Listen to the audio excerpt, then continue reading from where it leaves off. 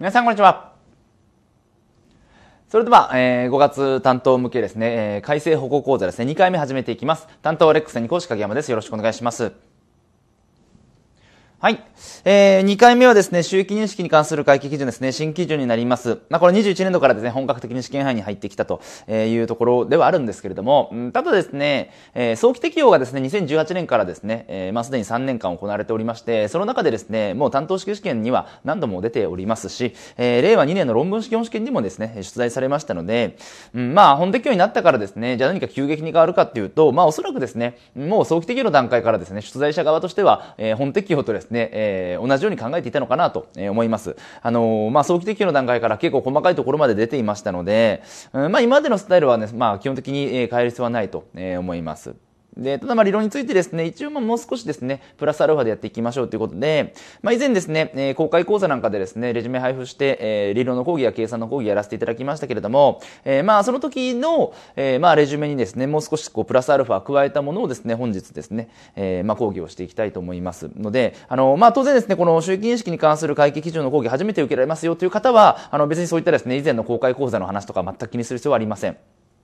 ただ逆に、まあ、以前ね、公開講座なんかで受けられてきた方もですね、今日の動画をご覧になられている方もいると思うんですけれども、えー、まあ内容そこまで大きく変わらないですから、まあプラスアルファで加わっているという部分がああるというだけで、まあ骨格というかね、使っていくレジュメなんかはあまり変わらないと思ってください。はい。えー、そしてですね、まあ、1回目の方向の中でもお話した通りですね、えー、まあ、今日の収益認識に関する会計基準は、基本的に簿記のね、えー、テキスト、簿記の処理ができますよっていう前提でお話をさせていただく部分もですね、多々ありますので、えー、まずですね、あの、簿記のテキスト、えー、5冊目のですね、第16章かな、えー、10、ごめんなさい、15章かな？16章か、16章ですね。16章に、えー、まだあまり触れてないよと、ね、あんま勉強してないよっていう方は、まずそちらをね、あの、勉強してきてください。えー、まあそのね、簿記の処理と絡むところが結構多くて、えー、まあ簿記の理解ですね、簿記の処理が分かっていないと、ちょっと理解が進まない、部分があったりだとか、あとはもう簿記でやってるからですね、ここは飛ばしていきますよっていう部分も結構ありますので、えー、そこはね、あらかじめご了承いただけるならと、ご了承いただけたらなと思います。はい。なので、まあ一応ね、今日も私も簿記のテキストね、持ってるんですけども、あの、まあちょいちょいプレゼントしながらですね、簿記の処理なんかもね、確認をしたりだとか、ここは簿記のここでやってますよとかね、いう話をね、していきたいとは思います。はい。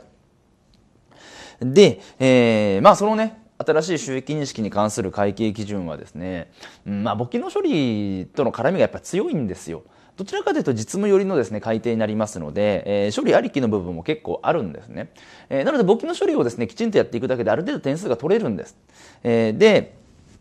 まあ通常ですね、私がレギュラー講義で使っている代表のレジュメはですね、簿記の講義と被っているところもですね、もうレジュメの中にですね、入れて、まあ簿記と、まあ載ってるようなものですね、同じだけれども、まあ一通りですね、載せてるんですけど、まあこの収益認識の会計基準はですね、簿記のテキスト載せてある部分はですね、まあ基本あまり載せてないです。まあ一部ですね、重複して載せてある部分もありますけれども、まあ簿記の方でやってる部分に関してはもう簿記にお任せという形にですね、えー、させていただいておりますので、えー、まあこれはね、もう、簿記のあのテキストね、えー、5の16章の部分と、この代表の理論のレジュメを、まあ、セットでね、扱うようにしてください。さっきも言った通りですね、まあ結構こう実務職が強いというか、会計処理ありきの部分が多いので、この理論だけ見ていってもあんまりよくわからない部分があるんですね。まあ、ね、言えばこの IFAS15 号の丸写しみたいなですね、基準ですから、あの、非常に読み取りづらかったりするですね、文言もあります。ね。まあそのあたりはですね、簿記の講義の中ですね、解説を入れていますので、やっぱりそこで合わせてやっていく必要っていうのが、えー、あるかなと思いますので、この簿記のテキストは簿記のテキストで、ね、座標のレジュメは座標のレジュメでって単発でこう切り分けて勉強するということはですね、あまり学習効果高くないので、これはお勧めしません。ね。もうテキストと、なんならね、テキストのあの16章ちぎって、えー、で、それをもうね、今日お配りしているこのレジュメとですね、合算して、えー、で、まあ、一つのね、収益認識っていう、えー、まあ本を自分で作ってね、勉強するっていうのが一番いいかと思います。はい。なので、まあ他のね、えー、セクション以上に、まあこういったね、簿記との絡み、そして簿記がちゃんとできていれば理論も解けるという要素もありますので、えー、まあそこをね、ちょっと意識していただきたいなと思います。はい。えー、それではですね、えー、内容の方に入っていきます。で、まあ、時間ね、1コマ3時間もおそらくかからないと思います。まあ、と言ってもですね、いつも3時間超えるぐらいかかっちゃってるんで、あんまりですね、あのー、信用力がないんですけど、ね、えー、ただ、まあ、簿記でやっているんでっていうところもあるんで、そこまで時間かからないかなと思っていますけれども、ね。はい。なので、まあ、まあ少なくともどうですかね、3時間丸々使って、えー、それを超えてしまうようなっていうようなことはないかと思いますので、まあね、えー、まあいいところでまあ前半切っていきたいと思います。はい。えー、それではですね、収益認識に関する、えー、会計基準の、えーまあ、目的だとか経緯だとかを少し見ていきますけれども、はい。えー、まあ従来ですね、我が国にはですね、この収益に関するですね、体系的な基準がなかったので、まあ収益なんかは実現主義といって前回後半やりましたですね、伝統的な、えー、まあ企業会議原則にですね、収載されているような実現の2要件というものを、えー、まあずっと使っていったわけですよね。で、企業会議原則って1949年できているんで、えー、まあ70年ぐらいですね、それを使っていたわけですよ。はい。で、さすがにまあ体系的なものをですね、作らないとっていうところで、まあ諸外国もですね、イファース15号っていうのもあるしということで、まあ我が国も、まあ国際的なね、会計基準とコンバージェンスや比較可能性っていうものをですね、えー、踏まえて、えー、この収益認識に関する会計基準というものをですね、えー、作ったと。ね。はい。まあそれは2018年ですね。で、本適用が2021年度から。はい。まあ、作戦目的とありますけれども、別にチェックをね、入れていく必要は正直ないかなと思います。ね、我が国の収益に関する基準の体系化、えー、で、えー、企業間の、ね、比較可能性、まあ、国際的にもそうですし、ね、業種業態的にもそうです比較可能性を確保するというところですねあとは収益に関する開示情報の充実化ということで、えーまあ、こういったものが、ね、目的になりますよと。はいまあ、従来はですね我が国はそういった体系的な、ね、包括的な収益認識に関するルールがなかったけれども、まあ、それを定めたというところです。はいまあ、この辺はもうざくっと読んでいただければと思います。でそして、括弧の3番ですね開発にあたっての基本的な方針というところになりますけれども、えー、基本的にはですねこの IFAS の収益認識基準である IFAS15 号を、まあ、基本取り入れたと、そのまま取り入れたっていうふうに考えちゃ構いません。まあ、全く同じってわけじゃないんですけれども、でも、ほぼ同じなんですよ、基本的に。基本的にほぼ同じなんですよ。一部ね、その日本固有の習慣なんかに配慮して、日本独自のですね、規定を設けているんですけれども、ベースっていうのは IFAS15 号をですね、そのまま持ってきたというところになります。だからまあこの基準もですね、基本的に IFAS15 号を和訳しただけで結構直訳的なものが多いので、基準非常に読み取りづらいんですね。読み取りづらいとか読みづらい。ね。もうなんでこんな難しい言葉にするのかなと。まあそれはね、直訳だからしょうがないかもしれないんですけれども、まあ、もうちょっとですね、こう、意訳してもらいたいなというような気持ちは正直あります。はい。えー、これですね、丸の2番。これまで我が国で行われてきた実務等に配慮すべき項目がある場合には、比較可能性を損なわない、損なわせない範囲で大体的な取り扱いを追加するということで、はい。えー、ここ一つ試験上ポイントになるかなと思います。大体的な取り扱い。で、これは次回最後の方ですね。あと、レジュメの一番最後の大体的な取り扱いをですね、ある程度主要なものを一覧した表がありますので、またそれ次回少し触れていきますけれども、えー、まあ、if as 15をですね、そっくりそのまま基本的に取り入れるわけですけれども、さすがにね、こう日本が古くからですね、行われてきた小習慣なんかにですね、配慮していかなければいけない面もあるので、まあ、例えばその一つの代表例って工事完成基準。ね、この工事完成基準っていうのは if as 15号にはないわけですけれども、まあ、日本はですね、完成基準っていうのを古くから使っていた側面もありますので、まあ、大体的な処理として完成基準を認めるとかね、えー、まあ、そういうね、えー、日本の昔からの処理にですね、えー、まあ、一つ選択肢を設けて、大体的な取り扱いっていうものをですね追加で、えー、検討しているというか、まあ、追加でこの基準の中に織り込んでいると。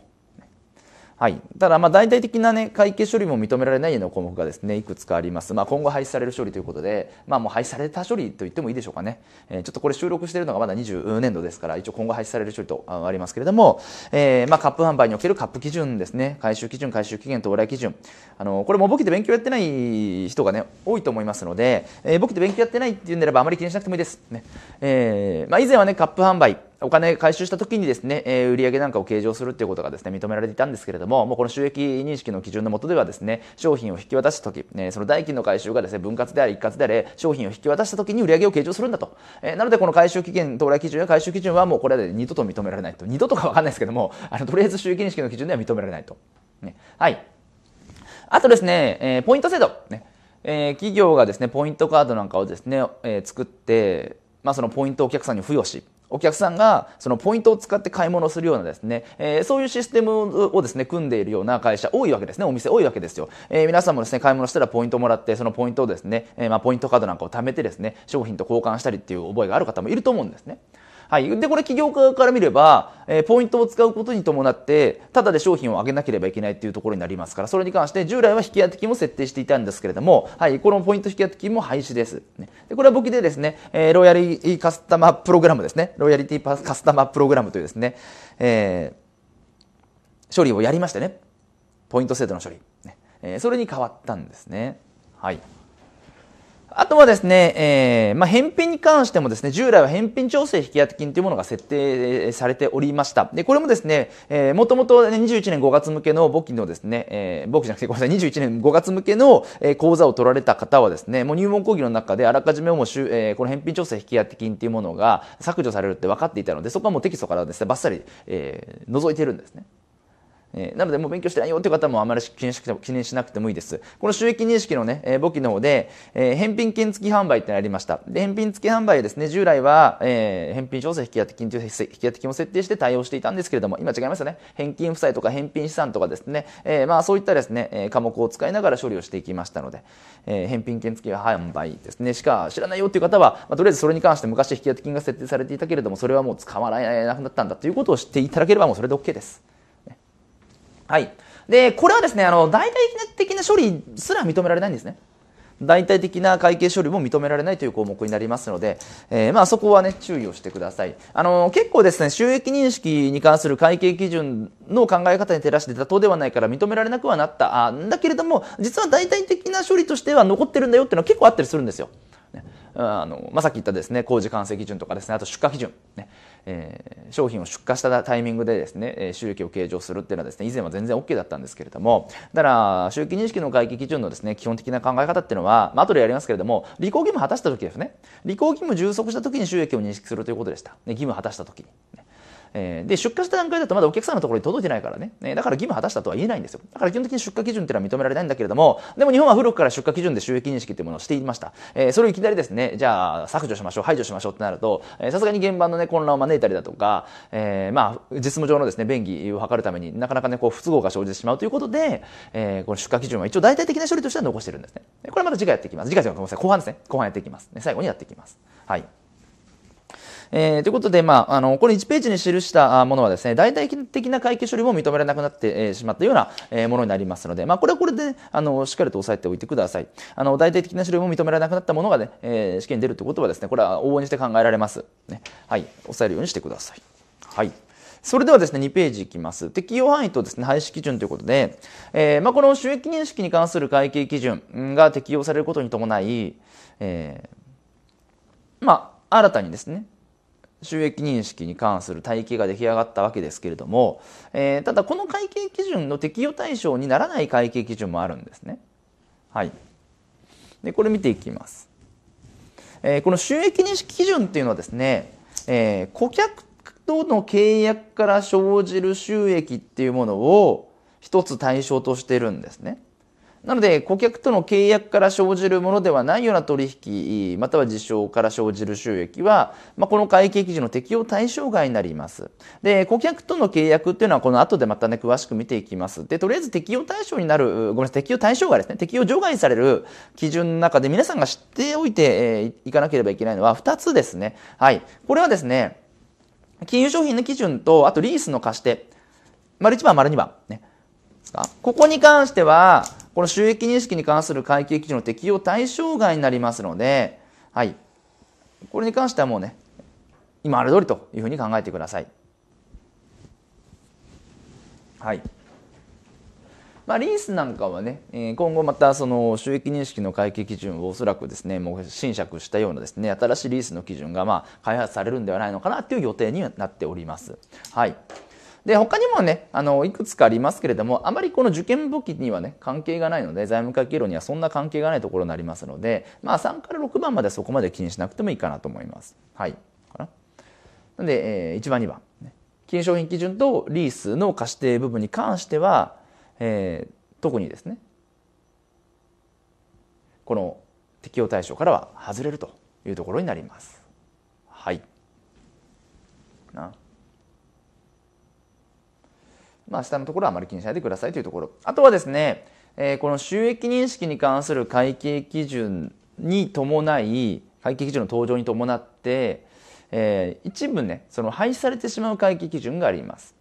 で、これもですね、まあ、もともとこの5月目標、担当5月目標のですね、方は、まあ、そもそももう廃止されるってことが分かっていましたので、えー、もうテキストからカットしてるんで、こんなの勉強していないよっていうね、思う人も結構いると思うんですけれども、えー、まあ、それはね、あの、以前こういうのがあったんだって思っていただければそれで OK です。はい。えー、廃止される会計基準はですね、まず基本工事系ですね。工事の会計基準と工事に関する適用指針、これはまあ廃止です。そしてソフトウェアのですね、え実務単位報告ですね、えソフトウェアに関する収益認識はですね、以前ソフトウェアの実務単位報告でですね、詳細が定められていましたけれども、えまあこれもですね、収益認識の会計基準で、まあ統一的な考え方がですね、示されたことにより、えまあこれらの基準は廃止ということですね。まあ工事なんかは収益認識基準の中で、えまあ簿記のですね、16章でやっていますよね。はい。えー、ただまあちょっと理論的にですね以前はいろいろあったんですけどもそういうのもですね基本的にあまり考えなくてもよくなったよということですね。はい工事の基準適用指針にソフトウェアの実務対報告は、廃止され、これが収益認識に関する会計基準に、取って変わったと。はい。そして、えー、企業会計原則は、まあ別にね、廃止されるわけではないんですけれども、企業会計原則の中のですね、収益認識に関する部分は、この収益認識に関する会計基準が優先的に適用されるということになりましたと。はい。優先的に適用と。はい。えー、ということでですね、えーまあ、廃止される基準も、えー、あるわけで、えーまあ、こういうですねどういう基準が廃止されたのかっていうようなことも場合によっては出る可能性はあります。はいまあ、こういった歴史的な経緯だとかですね、えー、まあ、基準の改廃に関するお話でたまに出ますから、まあ、一応知っておくといいかなというところです。はい。で、まあ、受験上における主な影響ということで、あの、これはですね、あの従来からですね、簿記学習されていた方向けのですね表になります。えー、まあ、この21年5月向けの担当目標で、まあ、初めて簿記勉強しました初めて財務会計勉強しましたっていう方は、まあ、そもそも従来のね、えー、処理のことがあまりね、えー、こう知らないと思いますで別にそれはそれで全然いいんですけどね。えーまあ、従来の処理廃止されて、まあ、こう新しい収益認識の処理になりましたよというところで、えーまあ、これはね従来から簿記を勉強されている方向けに、えー、作った表になりますので、まあ、昔の処理ら処理を知らないという方は、えー、あまり気にしないでください。でもし問われたとしてもですね、簿記で勉強していない処理は基本的には、えー、もう廃止されてしまったっていうことになるので、まあ、簿記の講義でですね、勉強していないものについては、あこれはね、えー、もう収益認識の基準で取って変わられて、今は使われていないんだなっていう判断で、まあ、例えば×とか丸を入れていただければいいかなと思います。はい。で、えー、基本用語の定義ですね。ていきます。あのまあ、ここはですね必要に応じてその都度その都度ですねあの見ていきたいと思いますので今からね用語をガーッとですね、えー、順を追って、えー、定義を確かめるということはしません。ただ、えー、契約ねちょっとここは見ていきます。まあ、この後すぐにですねステップ1、えーまあ、5つのステップをですね、えー、ざっと見た後にステップ1入りますがこの契約っていうのはですね冒頭法的な強制力のある権利義務、これを生じさせるものになります。法的な強制力と。法的な強制力のある権利義務を生じさせるということで、えー、まあちょっとここはですね、一つポイントになってくるかなと思います。法的な強制力のある権利義務ですね。まあこれは前回のですね、1回目の時価算的基準のですね、ところでもお話した通り、新しい基準がね、試験範囲に入ると、えー、まあそのね、簡単な用語の定義なんかの正誤判定っていうものも結構ね、過去出ているんですね。だから、まあこの用語の定義なんかもですね、少し注意はしておくようにしてください。まあ特に契約なんかは出そうではありますよね。はい。そしてあとはですね、この収益認識に関する会計基準っていうのは、まあ、2018年に公表されて、で、早期適用が3年間あり、21年から本格適用だと。で、これ2018年のところで公表されたものとですね、2020年の3月にですね、改定があって、えー、その本適用前にね、改定があって、えー、少しですね、こう、付け加わってるんですね。特に表示の部分なんか付け加わってると。で、以前ですね、私のこの収益認識講義を受けられた方はですね、えー、この基本用語の定義の下から4つ目のところですね、これ単なる債権だったんですね。で、簿記のテキストもですね、これ単なる債権になっている、えー、という方もいると思うんですね。以前のテキストは。はい。ただこのね、うん、債権っていうのは顧客の顧客との契約から生じた債権っていうふうに、まあ、名前がですね変わりました。あの意味は変わってないんですよ。意味は変わってないので別に意味的なものをですね気にする必要ないんですけれどもね。ただ単なる債権とですね、えー、まあちょっとその一般的なね債権と区別するために、えー、顧客との契約から生じたっていう枕言葉を債権のですね頭につけているので、えー、そこはですね従来この講義ですね受けられたことがある方ですね、えー、注意してください。従来とですね科目名が、えー、科目というかまあ言葉ですね言葉が少し変わっております。顧客との契約から生じた債権と。はい。まあ、意味としてはね、えー、法的請求権ということでしたよね。法的請求権と。はいだからまあ、ね、売掛金とかそういったものが具体的な科目に該当するのかなと。はい。一応ね、ちょっと2つだけ指摘をさせていただきました。あとはね、簿記のテキストなんかに書いてあり、簿記のテキスト講義なんかでも指摘した内容も多いですから、また必要があればここに戻って見ていきますけれども、えー、簿記の講義の中で指摘したようなですね、部分に関しては、えー、この用語のね、定義、あの、きちんとですね、押さえて、正語の判断できるようにはしてください。はい。それでは、えー、収益認識に関する基本的な考え方を見ていきます。はい。まあ、基本的な考え方といったらですね、これまテキストの方になりますけれども、えー、一節の収益認識の総論ということで、まあ、5つのステップなわけですけれども、えー、ただその大前提なんですよね。これはあのすでに講義で使ったテキストですから書き込みがあってですね、えー、まあむしろ書き込みがあった方が分かりやすいと思ったのでですね、もう書き込みがあるものを使いますけれども、えー、これ潜在またはサービスと交換に企業は権利を得ると見込む対価の額で描写する。ね、これが収益認識の基本原則なんですね。企業が権利を得ると見込む対価の額で描写すると。で、その権利を得ると見込む対価の額で描写する部分を細分化して、どういうプロセスで収益認識をしていけばいいのかということを示したのがこの5つのステップなんですね。契約の識別、履行義務の識別、取引価格の算定、取引価格の履行義務への配分、そして履行義務の充足という5つのステップ。はい。で、まあ、これをね、それぞれ細分化、あの、この後見ていきますけれども、まずね、この5つのステップをきちんと頭に入れるということですね。これがとても大事です。これがとても大事。で、まあ、テキストはね、その5つの説例に関する、非常にね、シンプルな説例が、まあ、1つありますので、えー、まあ、これですね、説例1、第1節の説例1。ね、はい。なので、まあ、ここでね、きちんとこの5つのステップの流れというものを理解するようにしてください。はい。で、レジュメでは、まあ、もっとね、その根本的な考え方をですね、もう一度だけ確認をしていきたいと思います。この企業が権利を得ると見込む対価の額で収益を描写するというわけですけれども、ですか？まあ、これはどういうことかというところで、まずドカンとですね、資産負債アプローチとありますけれども、はい。えー、この対価の額、権利を得ると見込む対価の額が収益の額になるっていうことですよ。この対価の額っていうのは、まあ、要は、資産ですよね。えー、資産の額から収益を描き出しているわけですから、これ資産ありきの収益ということで、あの、資産をさアプローチなんですね。資産が優先的に考えられ、そこから従属的に収益の額が導き出されているわけですから。ね、はい。だから、まあ、資産アプローチの考え方がですね、えー、まあ、思いっきり導入されているというふうに考えることができます。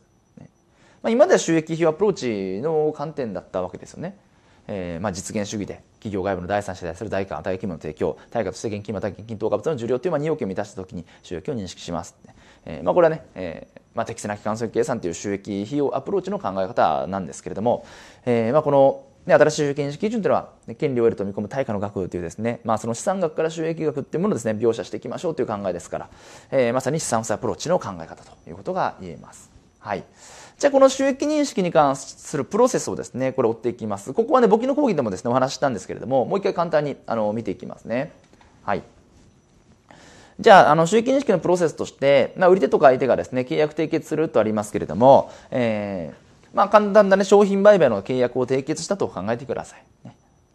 で、商品売買の契約を締結したその瞬間はですね、まあ、これ、売り手はですね、権利と義務がですね、えー、その売り手自身に両方帰属するわけですね。権利も帰属するのと同時に義務を帰属していくわけです。えー、その権利っていうのは、まあ、対価を受け取る権利なんですね。顧客から対価を受け取る権利。これが売り手に帰属するんだけれども、同時に商品なんかをね、引き渡さなければいけない義務も、えー、企業に帰属しますよね。で、契約を締結した時はですね、この権利と義務が、まあ、同じ重さなんで、こうバランス取れているんですね。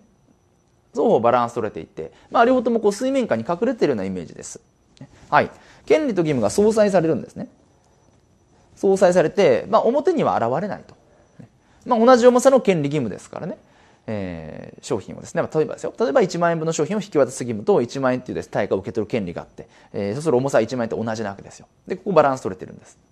なので、契約を締結した瞬間に、えー、特にその収益なんかはですね、認識しないんですね。はい。ただ、その後ですね、商品を引き渡しましたと。商品を引き渡すと義務が消滅しますよね。これですね。はい。お客さんに財やサービスを提供するわけですよね。履行義務がですね、消滅しますと。で、履行義務が消滅すると、今までバランス取れていた権利義務っていうもののバランス関係が崩れていきますよね。崩れていきます。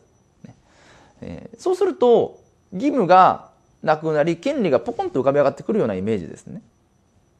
はい。まあ、シーソーの逆みたいなもんですかね。えー、なくなったら浮かび上がってくると。ね、シーソーで沈んじゃうんですけれどもね、えー、なくなったら浮かび上がってくるということで、まあ、シーソーの逆のようなイメージで、今までバランスが取れていたところ、えー、バランスが取れなくなってしまったと。えー、で、取れなくなってしまって浮かび上がってきた部分が、まさに、企業が、顧客から受け取る対価なんですね。まあ、権利が残るんで。それがですね、対価の額。権利を得ると見込む対価の額なんですね。で、この金額で収益認識しましょうっていうことなんですよね。はい。契約開始時に収益を認識することなく、企業が約束した財またはサービスを顧客に移転し、これですね。えー、それにより契約における履行義務を充足した時のみに収益の認識が行われますよということですね。えー、履行義務の充足によって収益が認識されるという点です。はい。履行義務が充足されればですね、権利が浮かび上がってくる。その浮かび上がってきた権利っていうのが、まさに、えー、収益認識の額なんですよね。まあ、収益を認識するタイミングだというところです。まあ、バランスが取れていたものがバランス崩れて浮かび上がってきた。それがイコール収益だっていうふうに考えていきます。はい。で、従来の収益認識、まあ、実現主義ですね。これ前回やったので、えー、まあ、ここはもう見ておいていただければと思います。まあ、従来はですね、その見込まれる額じゃなくて確定した対価の額で収益認識してるんですね。はい。ただ新しい基準っていうのは、権利を得ると見込む対価の額ですから、まあ、確定したっていう部分ではなくて、まあ、見込むというところですよね。はい。まあ、この辺りは違いますけれども、えー、まあ、ここはね、えー、まあ、さらっと見ていただければと思います。はい。それでは、えー、ここからね、まあ、各ステップごとにですね、えー、ポイントになる部分をですね、こうつまんで、えー、まあ、いくつかね、見ていきたいと思います。はい。で、えー、まあ、先ほど見た通り、とりあえず5つのステップっていうものがまず重要ですから、ね、その5つのステップの流れというものをきちんとですね、押さえていく。そしてその5つのですね、ステップのトップバッターっていうのが、えー、契約を識別していきましょうということになります。契約の識別。まあ、僕のテキストでもありますけどね、契約の識別と。はい。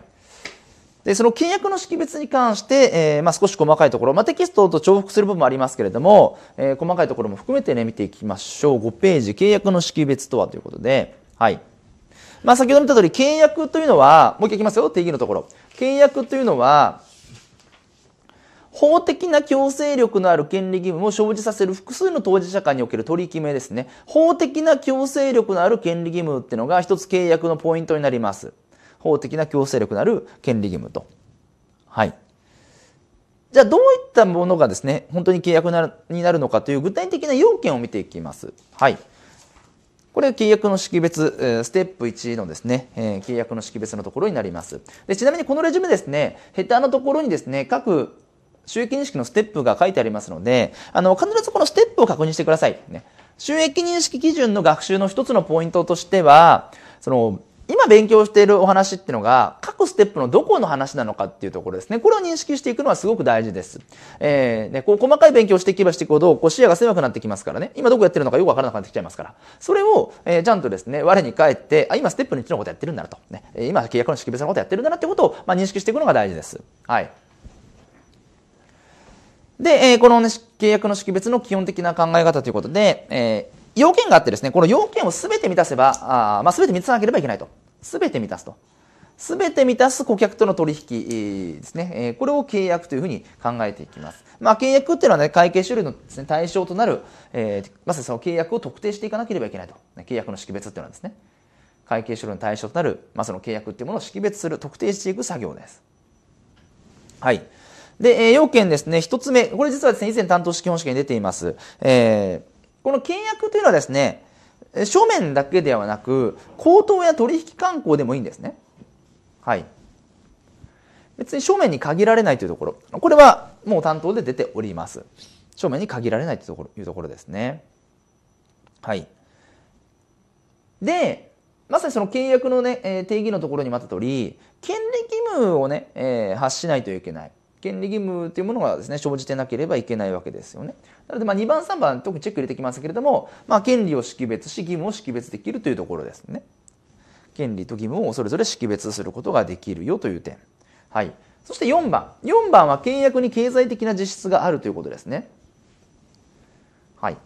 で、5番は対価を回収する可能性が高いというですね。ことで、えー、まあ、2番、3番はもうね、権利義務を識別するっていうごくごく当たり前のことなんですけれども、特徴的なのが145ですね。えー、正面、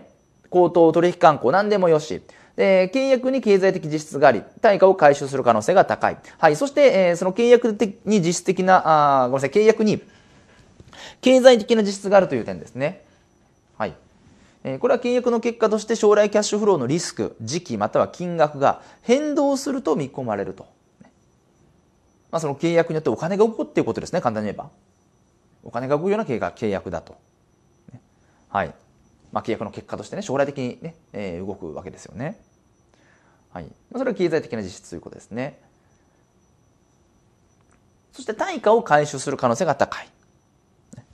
はい。えー、これはですね、契約の中で顧客の支払い能力や意思をちゃんと考慮していこうと。顧客の支払い能力や意思をちゃんとね、考慮していきましょうということで、えー、まあ、契約の金額と収益の認識額が異なるケースもあるんですね。で、これはもう僕の時の説例でやっていますので、はい。えー、ここはもう各自ですね、この説例を、あのー、見てくださいね。第2節の説例値ですからね。第2節、第2節の説例値。はい。で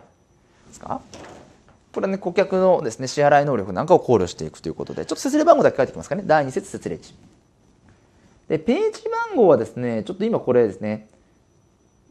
いつの講座を、ね、受けられている方がこの動画をご覧になれているのかがですね、不明なので、で、それによってですね、発刊されているテキストによって番号というかページが違うので、これ説と説例番号でいきますね。第2節の説例値。はい。えー、まあそこはね、確認していただければというところですね。顧客の支払い能力や意思、ね、そういったものを確認していきます。はい。そしてですね、契約の識別要件を満たさない場合とあります。えー、これ原文のところを見てください。えー、顧客との契約が第19項の要件を満たさないときってありますが、この第19項というのが、あの、このですね、上の5つの要件なんですね。はい。えー、これがまあ第19項と書いておきますかね。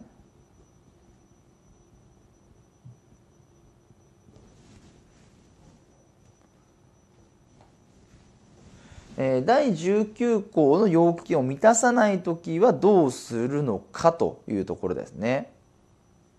はい。第19項の要件満たさないときは、ですか？その要件を事後的に満たすかどうかを引き続き評価し、えー、顧客との契約がその要件を満たしたときに、まあ、この収益認識基準を適用していく、まあ、つまり契約の識別になるわけですからね。契約が識別されるわけですから。はい。えー、満たすかどうかっていうところですね。まず、えー、自己的に判断をしていくということですね。はい。そして担当用ですね。ここですね。取引開始日において、5つの要件をですね、満たす場合っていうのは、基本的にですね、あの、そのままスルーしていいというか、その後ですね、えー、常に観察していかなければいけないかっていうと、そんなことはなくて、まあ、重要なですね、変化の兆候が、あ見られれば、まあ、そういった兆しが見られれば、再検討していきますが、うん、逆にそうじゃなければ、見直しは行いません。はい、取引開始日において要件を満たす場合には事実及び状況の重要な変化の兆候がない限りは当該要件を満たすかどうかについての見直しは行わないと。はい。ですね。で、逆にまあ満たさなかったら、引き続きですね、満たすかどうかっていうところを事後的にまあ評価をしていくことになります。はい。で、その中ですね、2つ見ていきますね。契約の識別要件を満たす前、えー、また満たさないような時に、顧客からお金を受け取ったらどうするかですね。えー、顧客からお金を受け取ったらどうするか。はい。これはですね、ですか？あの1、2のいずれかの要件を満たすときに受け取った対価を収益として認識すると。はい。だから、あの、識別要件満たさないんだけれども、えー、1のですね、いずれかの要件に該当するときは、あの、受け取った額はそのまま収益認識しちゃうんですね。収益認識しちゃいますよと。はい。で、どういうケースかっていうと、基本的にもらったんですね、お金の返金が不要というケースなんですね。対価の返金が不要ですよっていうケース。まあ、義務なんかもですね、履行して、対価ほとんど全て受け取っている中でさらに返金不要ですよと。あと契約が、ね、解約されておりそもそもね受け取った対価の返金が不要ですよ。えー、まあ基本返金不要ですよっていう要件をまあ重視しているというふうに考えてください。ね、まあ返金が必要だったら、ね、これはまあ収益ですね認識できないですからね。だって返せなかったらいけないわけですから。からね基本的には返金が不要という要件だと思ってください。はい。でもし1の要件に該当しないような場合は、ねまあ、そのね、えー、お金は、えー、義務として認識していくと。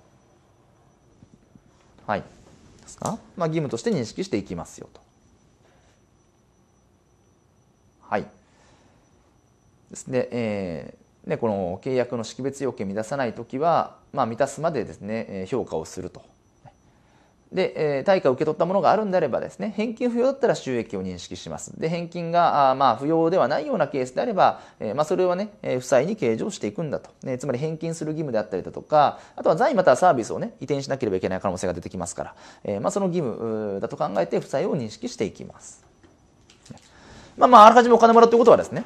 えー、何らかのサービスを提供をね、後でしなければいけない、要は前受け金的な要素があるわけですから、えー、まあ、そういった部分についてですね、えー、前受け金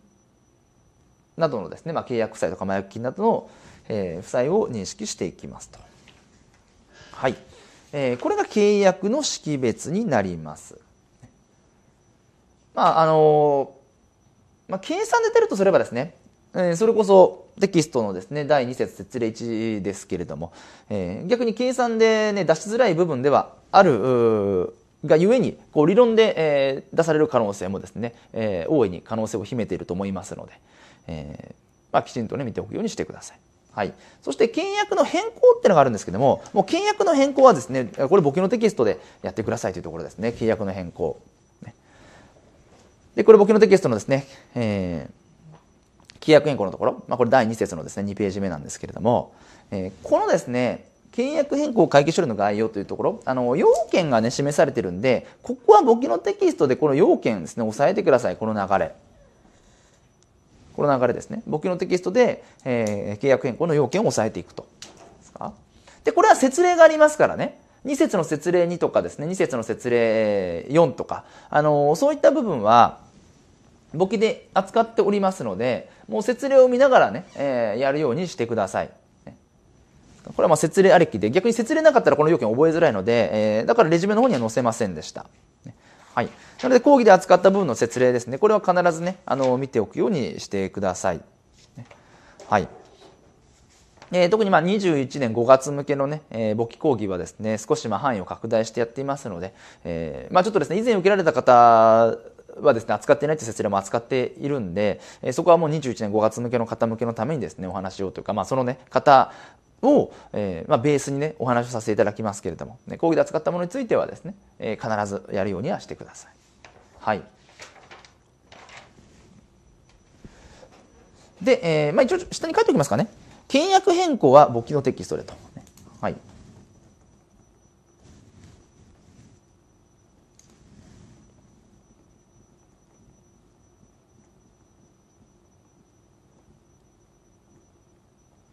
契約変更は簿記のテキストですと。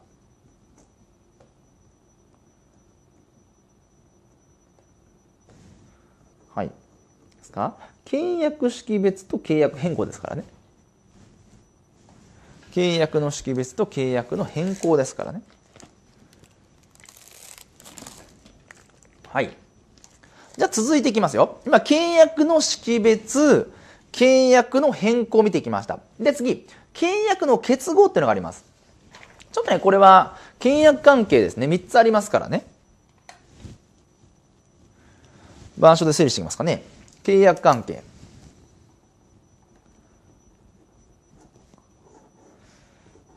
契約識別。2番、契約、えー、変更。で、3番、契約の結合ですね。はい。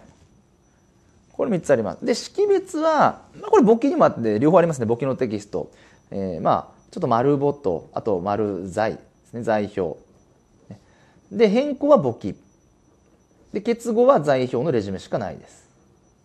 はい。こんなイメージですかね。で、契約関係3つあるんでね。えー、識別して変更して結合するという、その結合を、えー、見ていきます。これがレジュメの6ページですね。はい。契約の結合ですか？えー、同一顧客と同時、ほぼ同時に締結した複数の契約ですか？これ前提です。同一顧客と同時、ほぼ同時に契約した、締結した複数の契約。これ、1から3のいずれかに該当する場合は、契約を結合して単一契約とみなして処理をしていきます。単一契約。はい。で、いずれかに該当すればいいんですね、ここは。いずれかに該当と。いずれかに該当。はい。で、えー、まあ一応ね、ぐるっと囲っちゃいましょうかね。まあ、生後の判断はつけられるようになってください。まあ、どれかに該当すればね、当該複数の契約が同一の商業的目的を有するものとして交渉されたこと。一つの契約において支払われる対価の額が他の契約の価格または履行により影響を受けること。当該複数の契約において約束した財またはサービスが履行義務を識別する要件、ステップ2に照らして単一の履行義務となることということで、まあ、ステップ2の話はステップの2の方に行けばいいんですけれどもね。えー、まあ、特にステップ1の中では丸1番、丸2番という検討が、えー、重要ですね。はい。で、契約が結合されるような例をですね、一つ見ていきます。まあ、この例で押さえていくのがいいかなと思うんですね。はい。まあ、1番、2番に関してですね。えー、企業が機器の販売に際して、販売促進の一環として、当該機器を購入する顧客との間で、保守サービスを単独で利用する場合の料金よりも低い料金で、えー、機器の販売とは別の保守サービスの契約提供を同時に締結することで、ことがあると。はい。えー、要は、まあ、よくある話ですよね。機械装置を販売し、同時にこの機械装置のメンテナンスしていきますよと。まあ、コピー機なんかでもいいですよ。ね、コピー機なんかを販売して、で、コピー機なんか壊れたらね、えー、メンテナンスしますよと。まあ、コピー機リス多いですけれどもね。えー、まあ、そのようにですね、まあ、製品、商品を販売して、で、それに関するメンテナンスのサービスも一緒に販売しましたよというケース。はい。えー、これをね、例に見ていきます。えー、まず前提としてね、これ同一顧客と同時ほぼ同時に契約を締結するというですね、えー、まあこれ前提ですね。ですからここはもう前提だと思ってくださいね。ですか？これも前提で。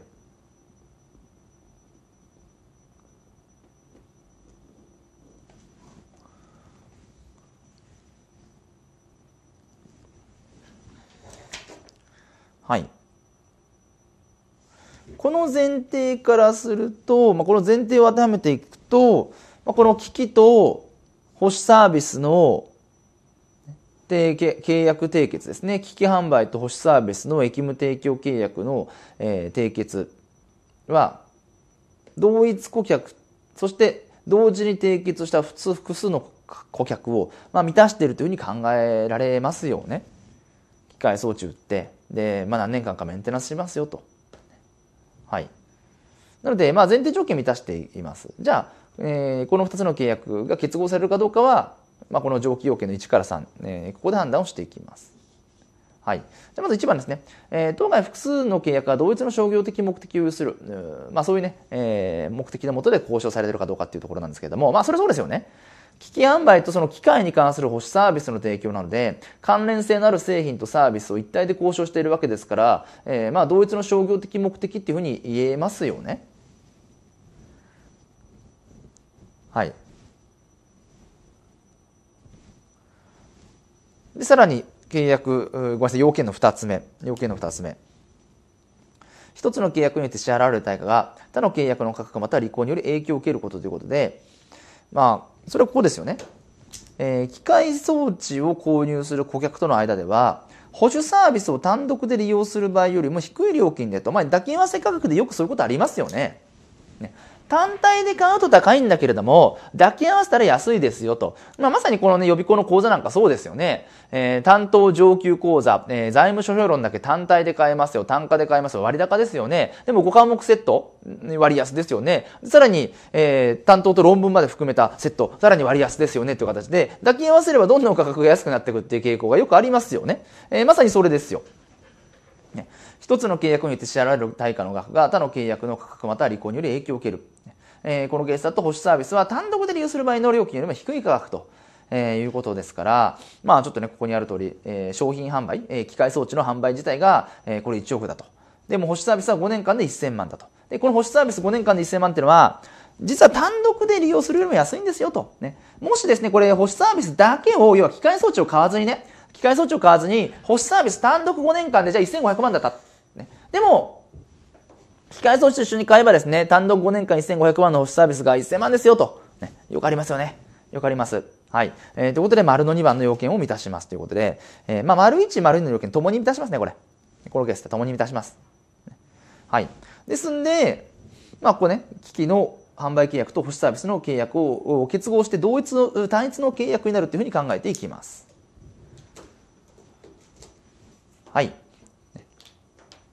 ですか？ここはもうね、前提、えー、同一の顧客と同時ほぼ同時にっていう前提プラス要件。で、特に要件は1と2ですね。えー、3の要件ってのはステップに履行義務の識別の話になってきますので。はい。まあ、いずれかに該当すればいいんで、まあ別に1だけでもいいんですけどね。はい。ただまあ、分かりやすいところとしては2ですかね。あの、客観的な価格っていうところでですね、現れてきますから。ね、まあ、このあたりで判断が実際はなされるわけですけれども、えー、まあ担当であれば整合の判断というところですかね。はい。えー、これが契約の結合になります。契約の識別、変更、結合と、ね、見ていきました。じゃこれでステップ1は終わりです。まあ今日はね、前半はステップ2まで、えー、終わりたいなと思っております。てか理論的にね、多く詰まってるところは実はこのステップ1とステップ2なんですよ。で、まあ、345も、まあ、ないことはないんですけれども、まあ、細かい面も多くてね、えー、まあ、この収益認識講座で、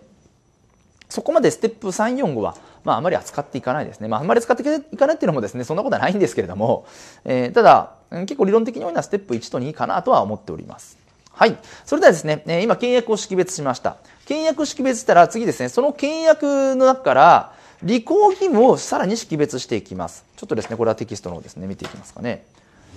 まあ、常にこの5つのステップを意識してくださいね。5つのステップを意識。ですか？今、契約を識別しましたよと。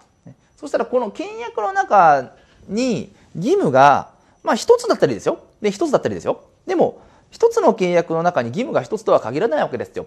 契約の中に義務が複数あるケースもありますので、えー、まあそういったね、義務が、あまあ、単体なのかね、えー、それとも複数なのかというところも含めて、履行義務を識別していきます。これがレジュメ7ページです。はい。履行義務の識別。まあ、履行義務というのは収益認識の単位ですからね。収益認識の単位。はい。契約における取引開始日に顧客との契約において約束した財またはサービスを評価し、次の1年のいずれかに、えー、いずれかを顧客に移転する約束のそれぞれについて履行義務として識別するということで、はい。ですか？えー、ここは、この別個の財またはサービスを顧客に移転する。それとも一連の別個の財またはサービスを顧客に移転するかどうかってですね。えー、まあそのどちらかに当てはまればそれは履行義務というふうに考えていくんですね。で、まあ、ちょっと読みづらいかもしれませんね。別個の財サービスと一連の別個の財サービスってこれ何ですかという話ですよね。はい、下に、えー、ちょっとですね、図があるので見てください。別個の財またはサービスを移転っていうのは、いや、機械を1台移転しますよとかって話ですね。ですか機械 A を移転します。機械 B を移転しますね。えー、そんな話ですね。別個の財サービスを移転すると。ね、そしたら、機械 A をね、移転する。機械 B を移転する。ね、それぞれ違う履行義務というふうに考えていきます。これですね。別個の財またはサービスを移転と。はい。まあ、機械を1台販売する約束。その機械を1台販売しますよっていうのが履行義務になります。えー、それに対して一連の別個の財またはサービスっていうのはですか、まあ、イメージその毎日清掃サービスをですね提供するような義務と考えていくのが一番いいかなと思います。ね、このね左、え、ごめんなさい右上の吹き出しにあります。これですね2の説明をしている吹き出しですね。ちょっとそれ書いておきますかね。2の説明と。ちょっと見づらいですね。すいません。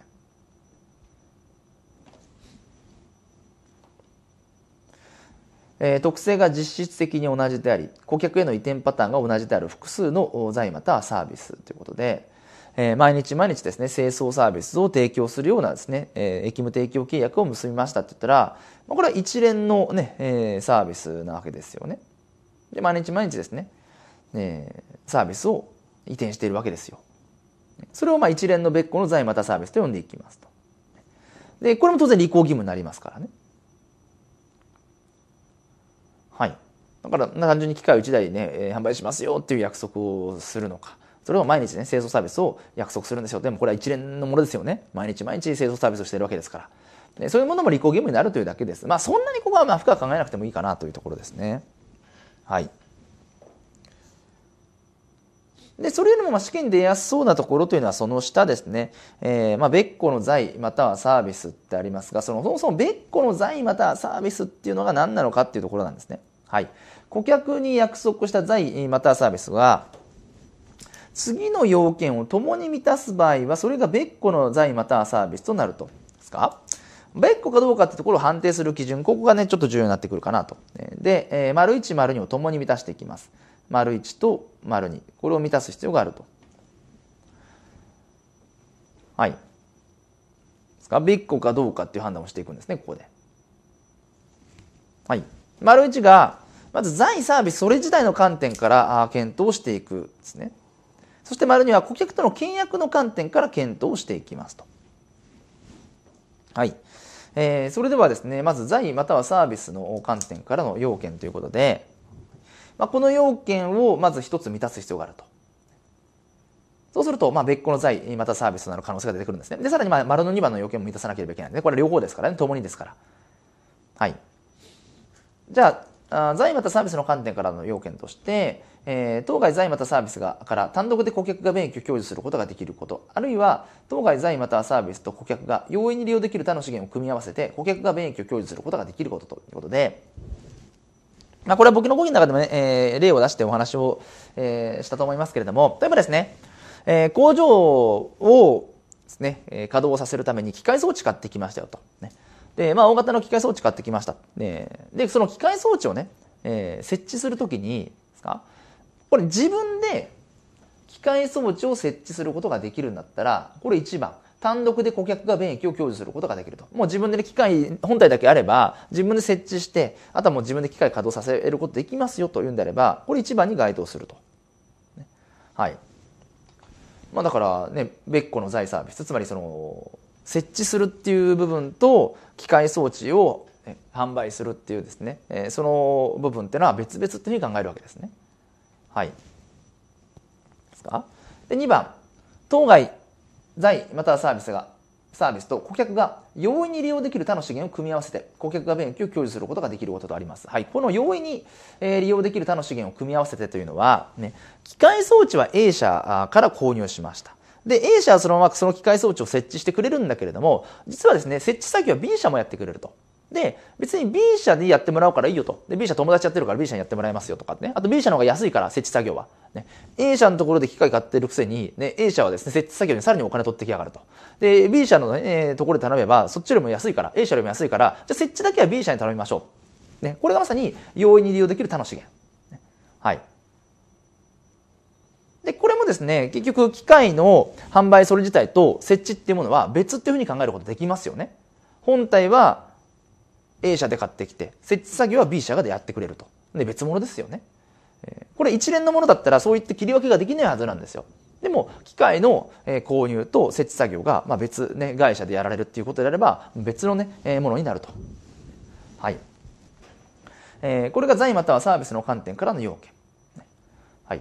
えまあ、自分で設置できますよとかね、他の会社に頼みますよ、他の会社にお願いすることができますよって言うんであれば、まあ、別個である可能性が出てくるわけですよね。で、まあ、要件2つ目さなければいけないので、次は、顧客との契約の観点からの要件と。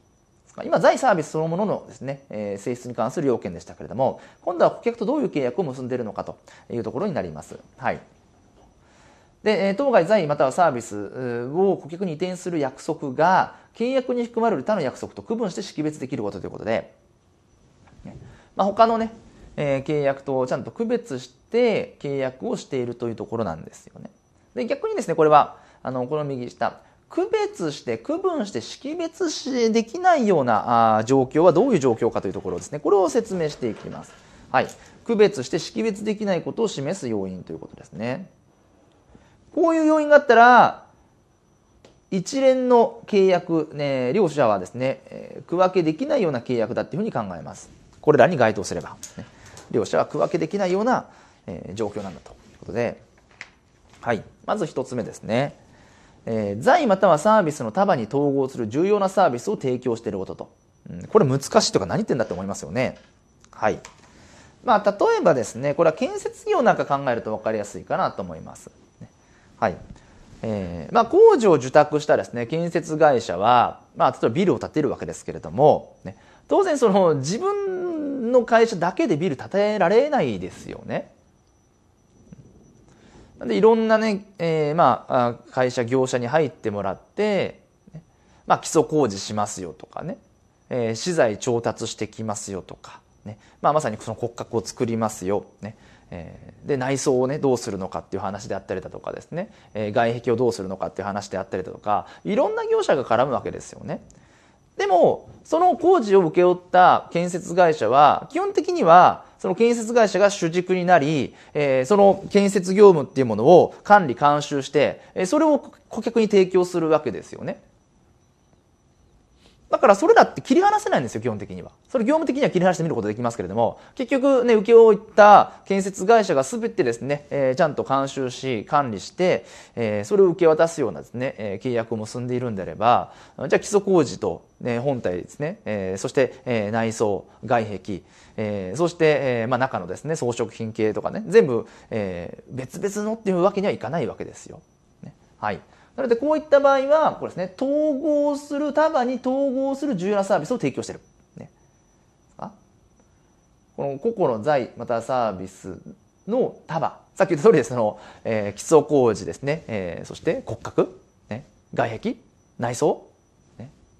そういったものを全部統合するようなですね約束をしてるんだと。その建設会社と。それだったらそれを切り離すっていうことは難しいよねと。えー、この場合にはそれらのですね、えー履行義務っていうものが区分けされない区別されないんですよね。はい。まあ、まあ料理なんかでもそうですよね。えー、まあイメージとしてね。例えばねカレーライス作ってくださいって言った時に、えー、まあ野菜をね買ってくる。そして野菜をね切る。野菜の皮を剥く。で、えーまあ、お湯を沸かす。ね。えー、で、えー、具材を入れる、カレー粉を入れる、お肉を切ってお肉も入れるですね、盛り付ける。ね。いろんな作業ありますよね。で、それ全部別の履行義務として考えるってないですよね。基本的にはカレーライス作ってくださいってお願いしたら、ね、その調理人が、ね、まあ、具材の調達からひょっとしたら具材の調達ぐらいはですね、他の人やってもらうかもしれませんけれども、ね、基本的にはその一連のカレーライスができるっていう流れ全ての責任を負ってるわけですよ。で、これも、財またサービスの束に統合してるわけですよね。いろんなね、えー、野菜を切る、野菜を洗う、野菜の皮むく、ね、鍋に入れる、ね、カレー粉も入れる、ねえー、お肉も入れる、ね、そういうものを束に統合してカレーライスってものを作るという一つの、えー、義務として約束してるんですよね。それ分けられないんでしょって言ってることですね、ここは。はい。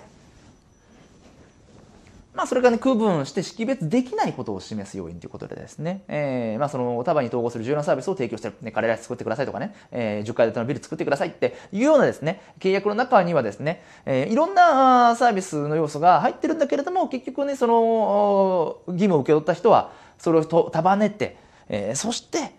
一つの完成品を仕立て上げていくというですね、そういう義務を負うんだと思ってください。はい。あちょっと読み取りづらいですね。では2つ目。著しく修理するまたは顧客仕様のものと、えー、されることとされていることということで、まあ、これ分かりやすいと思うんですよね。さっきの機械装置の話にですね、えー、戻りますけれども、えー、機械装置を販売するんですけれども、ただその機械装置は少し特殊な機械で、自分の工場に設置するためには特殊な技術が必要だと。で、これはさっきですね、えー、上で見た通り、なんかその、容易に利用できる他の資源と組み合わせてとかね、え、あと単独でっていうのが、まあ、できないんだと。ねまあ、顧客仕様のものにですね、なってしまっているので、えー、そういうのができなかったりするというんであれば、まあ、これはね、あの、区分けできないわけですよね。設置作業なんかとね、機械装置と。あと、まあ、機械装置自体と、あのその自社に合わせた機械装置にカスタマイズするっていう契約をね、結んでるんだったら、そのね、機械装置自体の購入と、カスタマイズされた部分の購入っていうのは分けられないですよね。はい。あとまあ著しい修正モードですね。デフォルトの機械はそんなにね、えー、まあ大したものじゃないっていうのはですね、適切かわかりませんけれども、まあ、あの、ごくごくありふれたようなですね、機械なんだけれども、ね。まあその会社はですね、その機械装置をですね、えー、特殊な、あ機能をですね、えー、付加して、えー、さらにですね、えー、修正してくれるんだと。で、その機械装置の購入と特殊な技能によって、その機械装置を加工してくれるっていうサービスとね、えーまあ、一体として考えることが通常できそれを切り離すことはなかなかできないよねということですね。はい。まあ、一応2つですねこの2つがまあちょっと重要かなというところですが、まあ、分かりづらいのは上だと思いますからね、まあ、さっきの料理の例であったりですね建設業の例なんかを思い出してくださいで一番下はですね財またはサービスの相互依存性関連性が高いこととありますがこれですねこの今ですね上で見たこの2つの要件に該当するかどうかが不明確な場合に備えて設けられているような要件ですから、まあ、ここも言葉だけ相互依存性や相互関連性が高ければ、うん、まあ、区別できないんだなっていうぐらいで、ここは構わないです。ねえー、ここの2つをですね、補足するような規定だと思ってください。はい。まあ、いずれにしてもですね、まあ、こういった区別できないことがなければ、えー、まあ、区別することができる契約なんだということですよね。で、まあ、容易に、あとは単独でっていう部分の要件を満たせば、それらは別個の財またはサービスになりますよと。はい。で、別個の財またはサービスであれば、別々の履行義務として認識されるという流れになります。はい。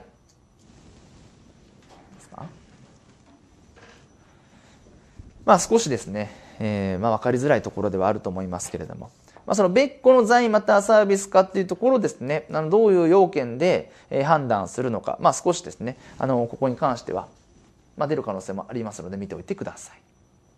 い。で、別個の財またはサービスというふうに考えるんだったら、別個の財またはサービスだったら、別個の履行義務だしね。まあ、それが一連のものだっても、あそれが一つの履行義務になりますよということです。はい。な。えーこれが履行義務の識別の総論的なお話になります。そして履行義務の識別はですね、各論で2つほど論点があります。まあ、他にもあるんですけども、まあ、試験に出やすいですね。勉強していく論点として各論で2つ見ていきたいと思います。はい。1つが、財またはサービスに対する保証ですね。財またはサービスに対する保証。で、これは簿記のテキスト第3節の説例1でやっている内容です。はい。なんで、ここ簿記のテキスト必ず見ておいてください。第3節説例1。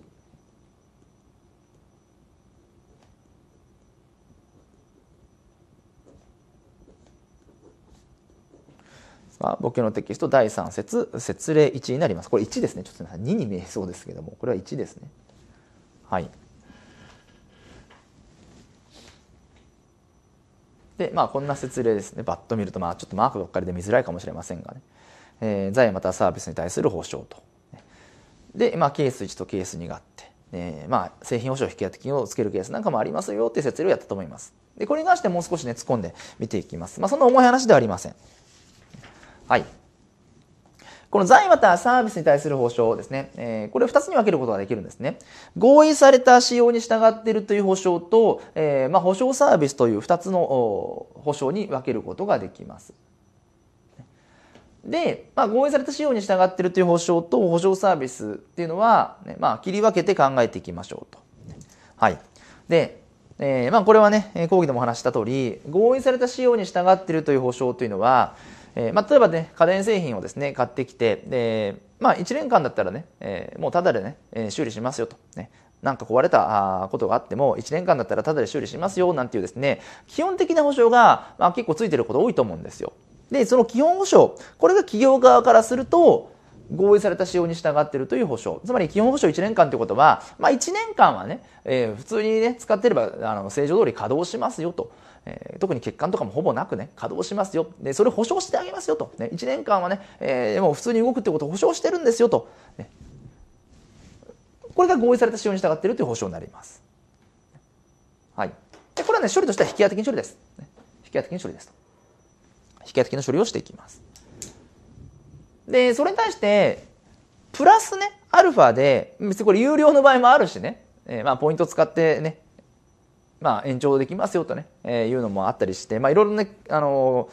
ー、契約形態は様々ですけれども、まあ、例えば本当にプラスアルファで、プラスね、えー、1万円払ったら、保証が5年に伸びますよとかね、プラス3万円払ったら保証が5年に伸びますよとかですね、えー、そういった延長保証有料サービスってもですね、えー、展開している企業多いですよね、電気屋さん。で、それがまさに保証サービスの方なんですね。で、これはもう別個の履行義務というふうに考えていきます。別個の履行義務というふうに考えていきます。はい。合意された仕様に従っている基本保証的なものは引き当て金処理。ね、まあ、有料で延長オプションつけますか？ね。それはね、あの別の履行義務というふうに考えていきます。ね。で、計算自体はですね、必ずこれ見ておいてください。まあ、簿記のね、えー、ランクは、これおそらく講義で B に直してると思うんですけど、新しい講義だと。はい。まあ、比較的重要性高いかなと思います。で、理論で見ていくのはですね、まあ、要は、この合意された仕様に従っているという保証か、プラスで付けられている延長保証的な別個の履行義務とされる保証かの判断要素、これを見ていきます。はい。まあまあ、これも本当に担当ですよね。どういう判断基準で合意された仕様に従っているという保証か、基本保証か、えー、それともね、それとは別個の履行義務になるのかっていう判断をするのか。はい。まあ、これ担当でぐるっとこうっていきます。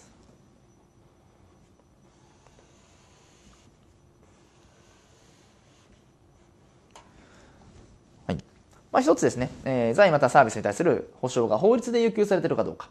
二つ目、財またサービスに対する保証の、保証の対象となる期間の長さですね。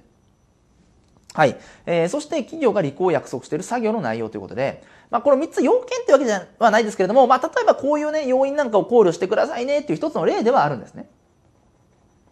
はい。で、これどういうことかっていうのはですね、もう少し考察したものが下の編みかけのところにありますので、はい。まあ、ちょっと見ていきますかね。まあ、最終的に押さえるのはこの3つでいいんですけれども、ですか？さら内容面少し見ていきます。ちょっとフォント小さいところですね。えー、この財またはサービスに対する、これ保証が法律で要求される場合には、これはそもそも履行義務っていうふうには考えないと。もう法律で保証要求されている場合はですね、履行義務にはならないと。いや、別個の履行義務にならないってことですよ。ね、履行義務にならないっていうのはですね、ここですね。この保証サービスとして、えー、まあ、丸の2番に該当しないということですね。丸の2番には該当しませんよと。ですか？法律で要求されている場合には丸の2番には該当しないここで言うですね保証サービスには該当しませんよと、まあ、法律で要求されているというところはですねもうこれは、えー、この製品から生み出される欠陥からですね顧客を守るようなですねまあそういった存在の保証ですからその履行義務っていうふうには考えていかないということですねはいあとはですね期間の長さまあ、期間はね、これは分かりやすいと思います。保証の対象期間が長ければ長いほど、えー、これは履行義務になると。まあ、なりやすいということですね。期間が長ければ長いほど、履行義務になりやすいよと。要は別のね、履行義務ですね。丸の2番に該当する可能性が高くなるということですね。あの、決してまあこれはね、具体的な要件というわけじゃないので、こういうことを考えていきましょうということですね。はい。あとはですね、まあ企業がこの合意された仕様に従っているという保証の中で、いろんなサービスを顧客に提供するよっていうようなですね、必要性があれば、それは履行義務ではないと。えー、まあそれはイメージとしては、合意された仕様に従っているという保証の一環として行われるようなサービスというふうに考えていきます。ちょっと丸の3番読んでいきますね。えー、財またはサービスが合意された仕様に従っているという保証を提供するために、欠陥のある商品または製品にかかる返品の配送サービス、特定の作業を行う必要がある場合には、えー、その作業は通常履行義務を生じさせないということで、あのー、まあ、合意された仕様に従っているというですね、ことを保証するために、例えば欠陥があった製品をですね、お客さんが送ってきたら、まあ、そういったですね、えー、運送料を全部負担するとかね、その運送料に関するサービス、運送に関するサービスなんかは、あの、当然のことながらこれは合意された仕様に従っているという保証のの一環としてのですね、えー、サービスなので、それは別のね、えー、保証サービスとは言えないということですね。まあ、3番はまあ、それは当たり前かなというような話ですかね。はい。結局合意された仕様に従っているという保証を提供するためにとありますから、合意された仕様に従っているという保証の一環として行われるようなものですね。えー、これらは当然のことながら、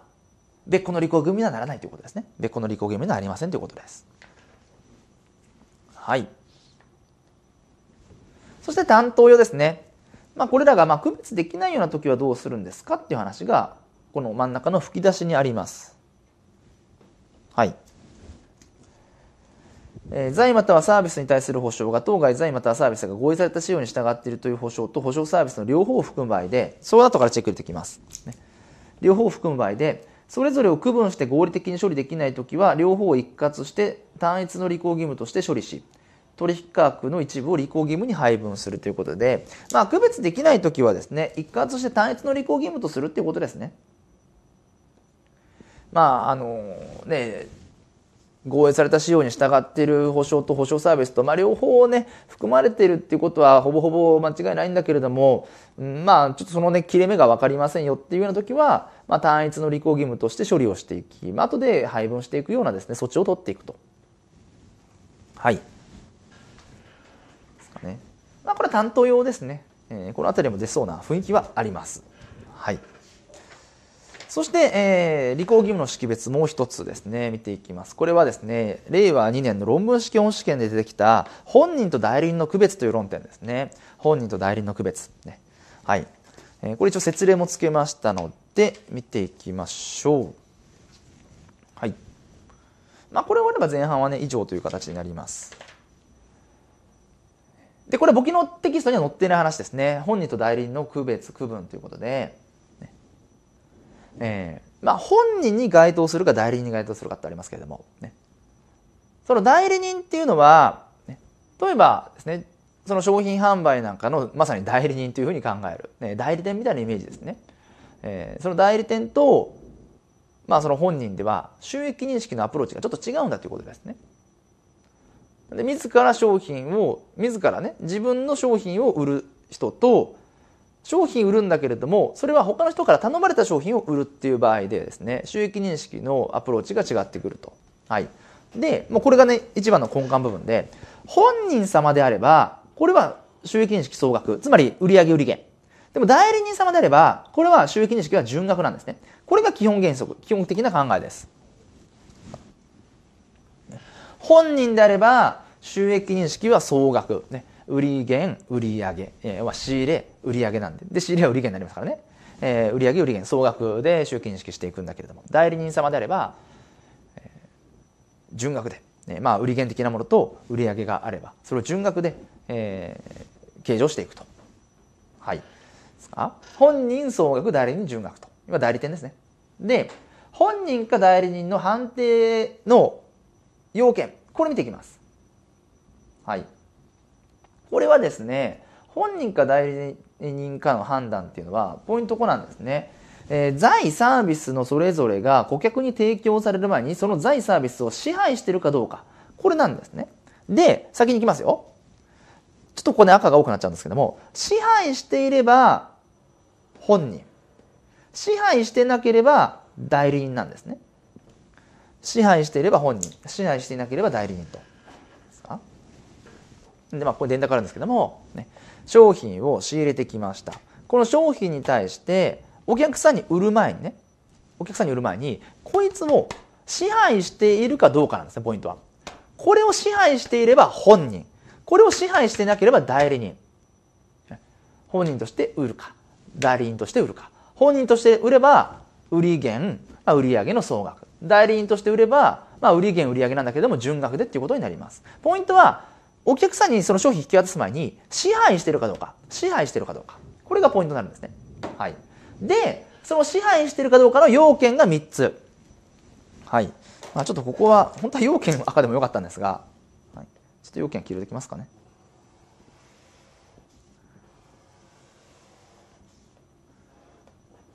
はい。え、まず、在サービスを提供するということに関する責任を負っているかどうかですね。メインの責任を負っているかどうか。そして在庫のリスクなんかを持っているかどうか。で、価格設定の裁量権を持っているかどうかっていう3つですね。はい。主体ある責任、価格リスク、価格の設定における裁量権になります。はい。でその商品を、ね、販売することに関する責任を、まあ、全て負っているかどうかですねこの人が。はい、そして売れ残っちゃったら自分が責任取らなければいけないかどうか。ね売れ残った分ですね大元に返すことできるんであれば、ね、これは在庫リスクを抱えているとは言わないですからね。売れ残った時に返金、返還できるかどうか、できないかどうかっていうところですかね。あとは価格設定の裁量権。これ自分でこのね、えー、商品、製品の価格を決定することがおおむねできるかどうかですね。権利、ね、最終判断決定権があるかどうか。えー、それ価格決定の裁量権。それらがあればね、まあ責任があって在庫リスク持って価格も決められるよっていう状況であれば支配してるから本人。ね、でも、責任もあまり負わず、売れ残ったら返せますし、価格は大元さんからね、まあ、またメーカーからね、えー、言われた価格、言いなりになってそのまま売りますよ。はい。これ価格決定裁量権ありません。はい。こういう状況であれば、代理人というふうに判断していきます。はい。で、代理人になれば、純額表示ですね。代理人になれば純額表示と。はい。そこでですね、我が国の取引慣行として多いのが、この消化仕入れ契約というものになりますので、まあ、この消化仕入れ契約についてちょっと見ていきたいと思います。まあ、これがまさにね、論文で出たんですけれども、ね、通常のですね、買取仕入れ契約というのは、ね、商品を仕入れてね、で、お客さんに売りますよっていうのがまさに、これ買取仕入れ契約なんですね。まさにその普通にね、商品を外の会社から買ってきて、それを売りますよ。ね。はい。で、この時ですね、買取仕入れっていうのは、まさにその義務としては、商品をお客さんに提供することが義務で、で、えー、本人に該当するんで、収益は総額で表示をしていきます。普通に商品を仕入れてくるというパターンなんですね。で、それに対して我が国のですね、えー、商習慣でよくあるのが消化仕入れ契約といって、まあ、これ百貨店なんかに代表される取引なんですけれども、ちょっとこれは板書入れていきましょうかね。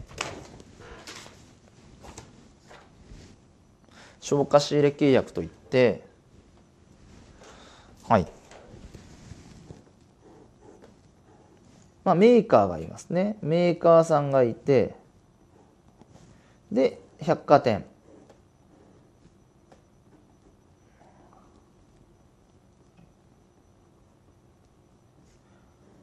はい。で、あとお客さん。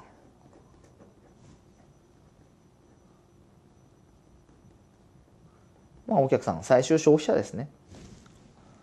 はい。ですか？この時ですね。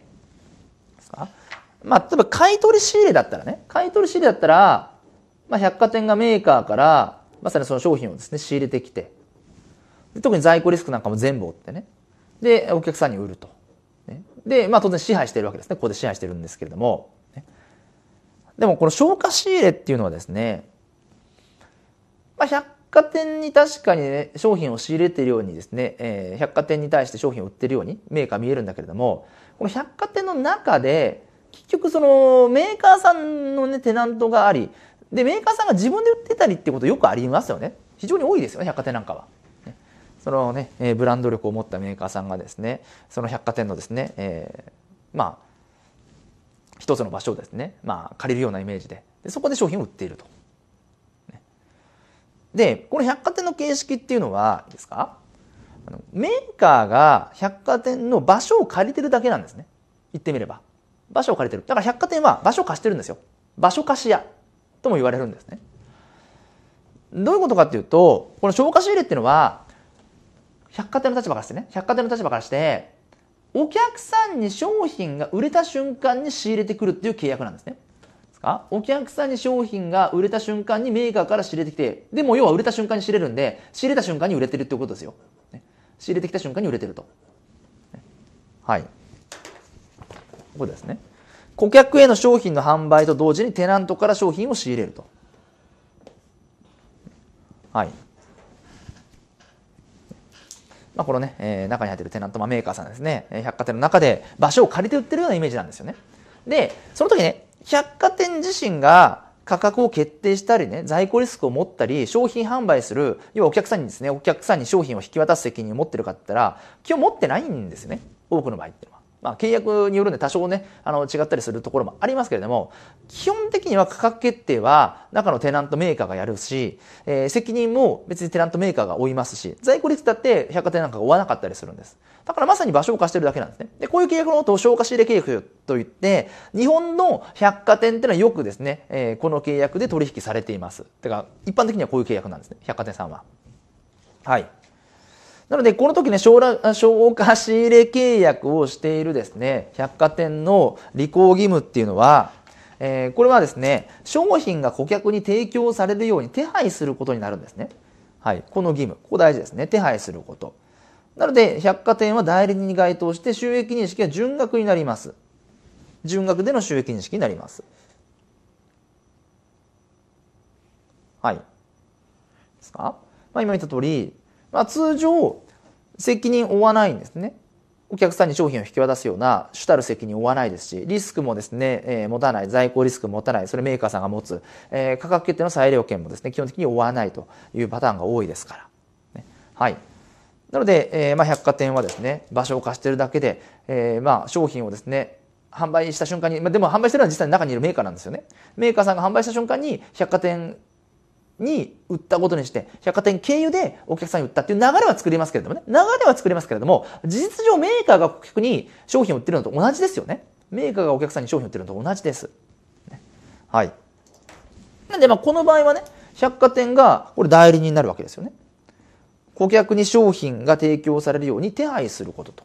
ね、代理人になるわけですよ。はい。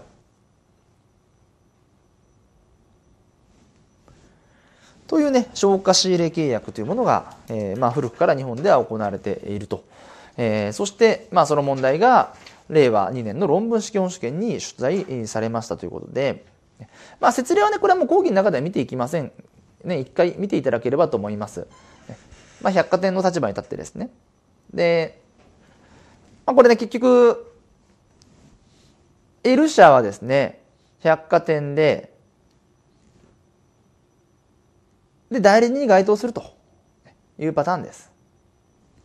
で、そのね、代理人に該当するかどうかの検討っていうのが、この主たる責任持つのかとかね、在庫リスク持つのかとか、価格決定の裁量権を持っているのかっていう、このね、検討3要素になりますので、まあ、これをね、この資料2の括弧1から括弧4、ここをベースに、まあ、本人に該当するか誰に該当するのかっていう検討を、えー、していくようにしてください。で最終的に収益認識は純額ですからね、純額。ここが大事ですからね。収益認識は最終的には純額ですよというところが大事になってきます。はい。まあ、ここはね、説例各自をお任せしますというところで、まあ、必ず一回は見ておいてください。まあ、純額で、えー手数料ね、収入をもらいますよっていう、まあ、この分ですね。はい。ポイントはこれですかね。手数料収入純額でっていう、ここがポイントになります。はい。それでは、思ったよりだいぶ時間がやはりかかってしまいました。で、えー、このステップの2、履行義務の識別のところ、もう一個重要なのは、これはですね、ポイント制度になります。なのでテキスト、これはね、あの、座標講義ではありませんけれども、テキスト第3節の説例に、ね、はい。ここは必ずやってくださいね。ポイント制度。テキスト第3節の説例に。ポイント制度は必ずね、やるようにしてくださいね。ポイント制度ですね。はい。これはとても大事です。とても大事です。で、あの、講義ではもう細かくね、あの、いろんな義務だとかに関しては説明していますので、かなり書き込みをね、これ講義、講義入れているんで、はい。ここに関しては、理解をして、えー、そして処理ができるように、えー、練習をしていくようにしてください。まあ、ポイント制度はね、計算出る可能性も全然ありますからね。なんか理論もありますし、計算出る可能性、まあ個人的にはどっちかというと計算の方が、ね、出る可能性高いと思っておりますので、えー、まあ計算も含めてね、まあ今一度ポイント制度について、えー、見ていただければと思います。これもね、ポイントは、ポイントの引き渡しによって、まあ、要はポイントによって商品を引き渡す義務と、ポイント以外によって商品を引き渡す義務が別々の履行義務になるんですよっていうのがポイントなんですね。もうポイントポイントって何がポイントなのかよくわかんなくなっちゃいますけれども、重要なのは、ポイントによって商品を引き渡す義務と、ポイント以外によって商品を引き渡す義務。ここがね、考え方のコツですから。履行義務の識別をやってるんでね。今、ステップに履行義務の識別をやってるんで。えー、何が履行義務かっていうところに関しては常に意識をするようにしてください。はい。それではですね、前半はここまでですね。で、後半は、その後ですね、取引価格の算定からですね、えー、見ていきたいと思います。はい。それではね、前半以上になります。お疲れ様でした。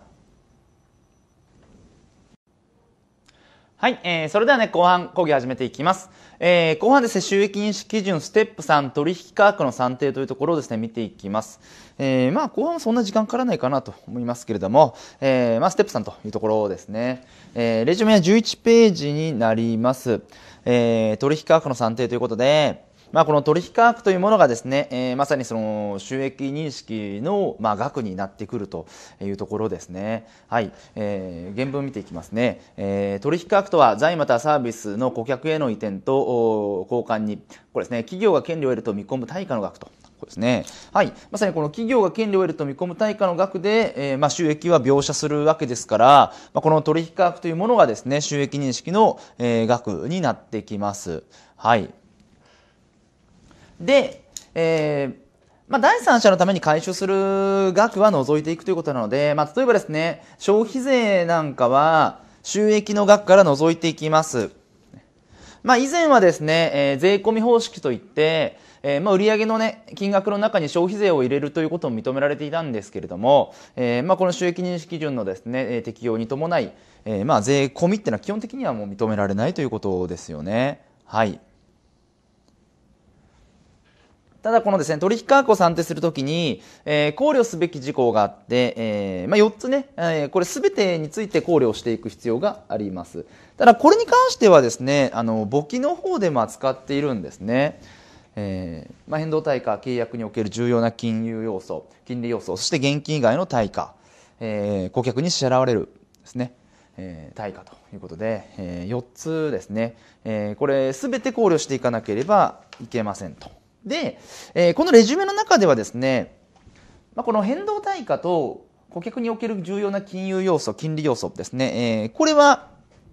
まあ、触れているんですけれども、その下ですね、現金以外の対価であったりだとか、顧客に支払われる対価はですね、えー、これは、まあ、このレジュメの中ではですね、特に触れていないので、こちら必ず簿記のテキストの方でですね、えー、確認をするようにしてください。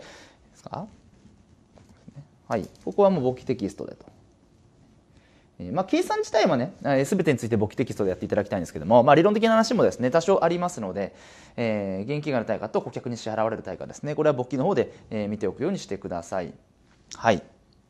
では、えー、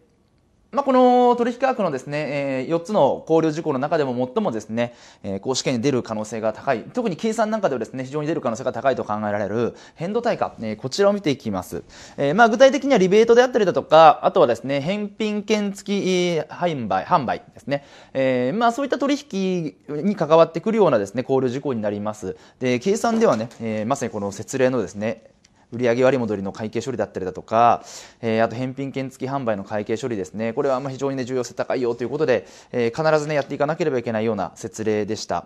えー、まあ、とてもね、ここは出る可能性が高いですから、計算でね、出る可能性高いですから、えー、まず計算分野でですね、この変動対価の部分っていうのは必ず見ておくようにしてください。はい。えー、そして、えー、そのまあ変動対価に関してですね、少し詳しく見ていきます。はい、えー、顧客と約束した対価のうち変動する可能性のある部分を変動対価ということで、えー、まあこれね、本当にまあその返品とかリベートとかですね、そういったものになります。まあ値引き、え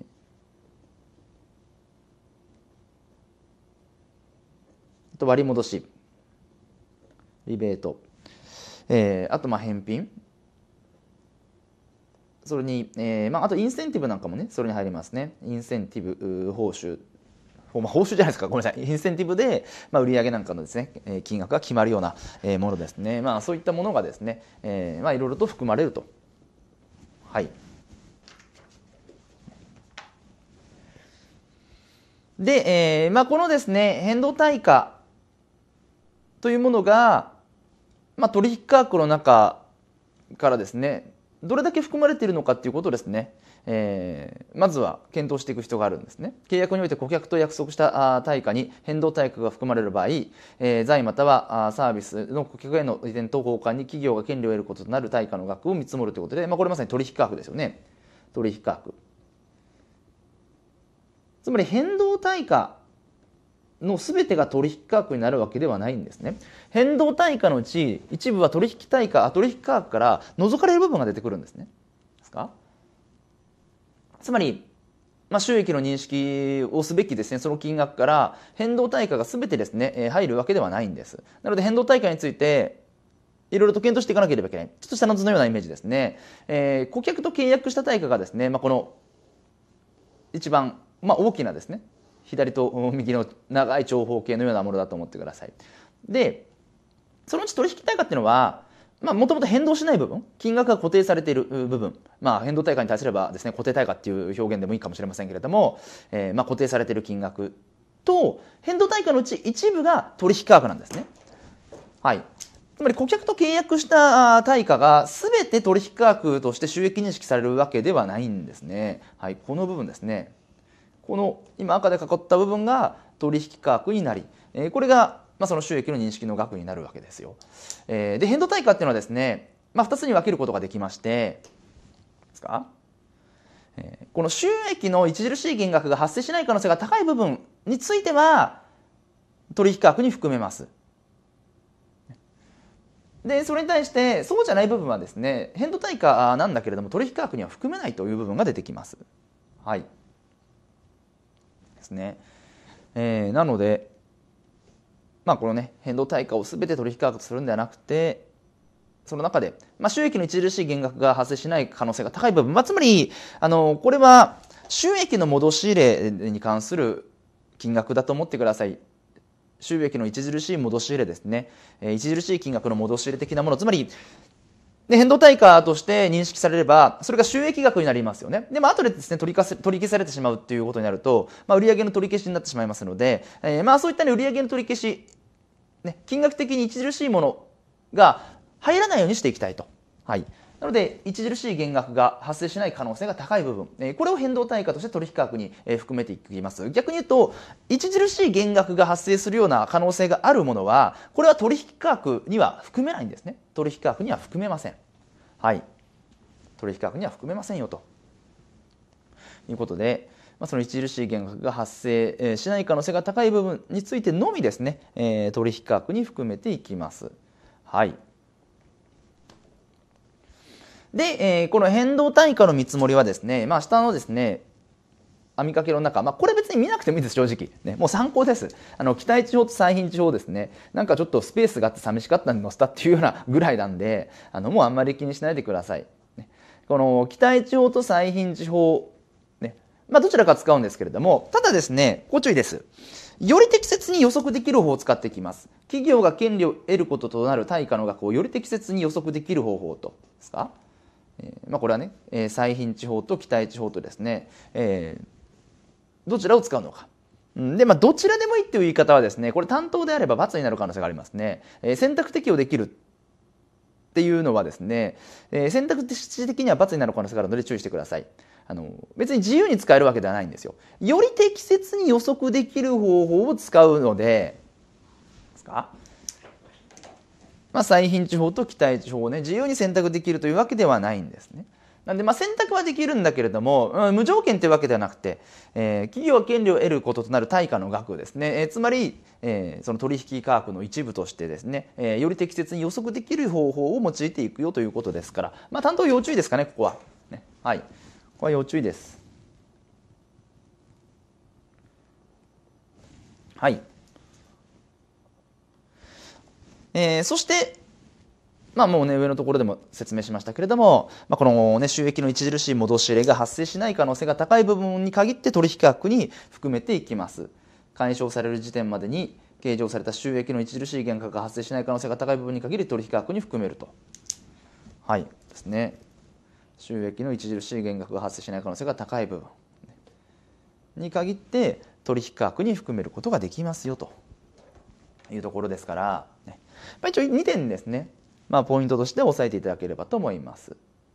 はい。まあ、特に担当的にも言うとですねこの部分ですかね、えーまあ、引っ掛けの要素にはなりえますからね、えー、なのでまあ他の選択肢とのですね兼ね合いにもよりますけれども、ね。まあ、より適切に予測できる方法を用いていかなければいけないと思ってください。はい、であとはねさっきお伝えした通りえー、まあ、これリベートとですね返品券付き販売があテキストの説明にありますのであのここはもう計算最重要ですからね。計算最重要ですから、えー、必ず見ておいてくださいね、えー、計算の中では、まあ、このリベート返品券付き販売そしてポイント制度あとはですね、まあ、工事に関する部分っていうのは本当に最重要かなと思いますので、え必ずですね触れておくようにしてください。はい。えー、それではですね、えー、続いていきます、えー、契約における重要な金利要素、金融要素、これを見ていきます。えまあ、これ僕のね、テキストに説例は入っていますので、あの説例ではね、必ず触れていただきたいんですが、まあ、少しだけね、えまあ、細かい部分も含めて見ていきます。はい、いきます。契約における重要な金融要素ということで、えー契約の当事者が明示的目次的に合意した支払い時期により財またはサービスの顧客への移転にかかる信用供与についての重要な便益が顧客または企業に提供される場合には顧客との契約は重要な金融要素を含むものとするということで、えー、まあ信用供与なんかがねえー、あるようなものはもう基本的に金融要素つまり利息ですね。利息の要素を含むと、えー、考えていきます。はい。まあ、あまりねその深く考える必要はないですからね。とりあえずまあ利息ね、えー、が入っている場合があるんだと。でこれね、明示または目次というところですから、まあ、これも担当の、ね、細かい引っ掛けなんかに注意してください。えー、まあ、目次であってもですね、その合意した支払い時期によって、えー、まあ、金融要素を含む可能性が全然ありますよということですね。はい。で、まあ、この金融要素、つまり金利部分ですね、もう金利部分。ね、金利部分が含まれるときですね、これはもう担当で出ているんですけども、えー、収益は現金の販売価格を反映する金額で認識をしていきます。現金販売価格を認識する金額、えー、反映する金額で認識していくということで、ですかね。えー、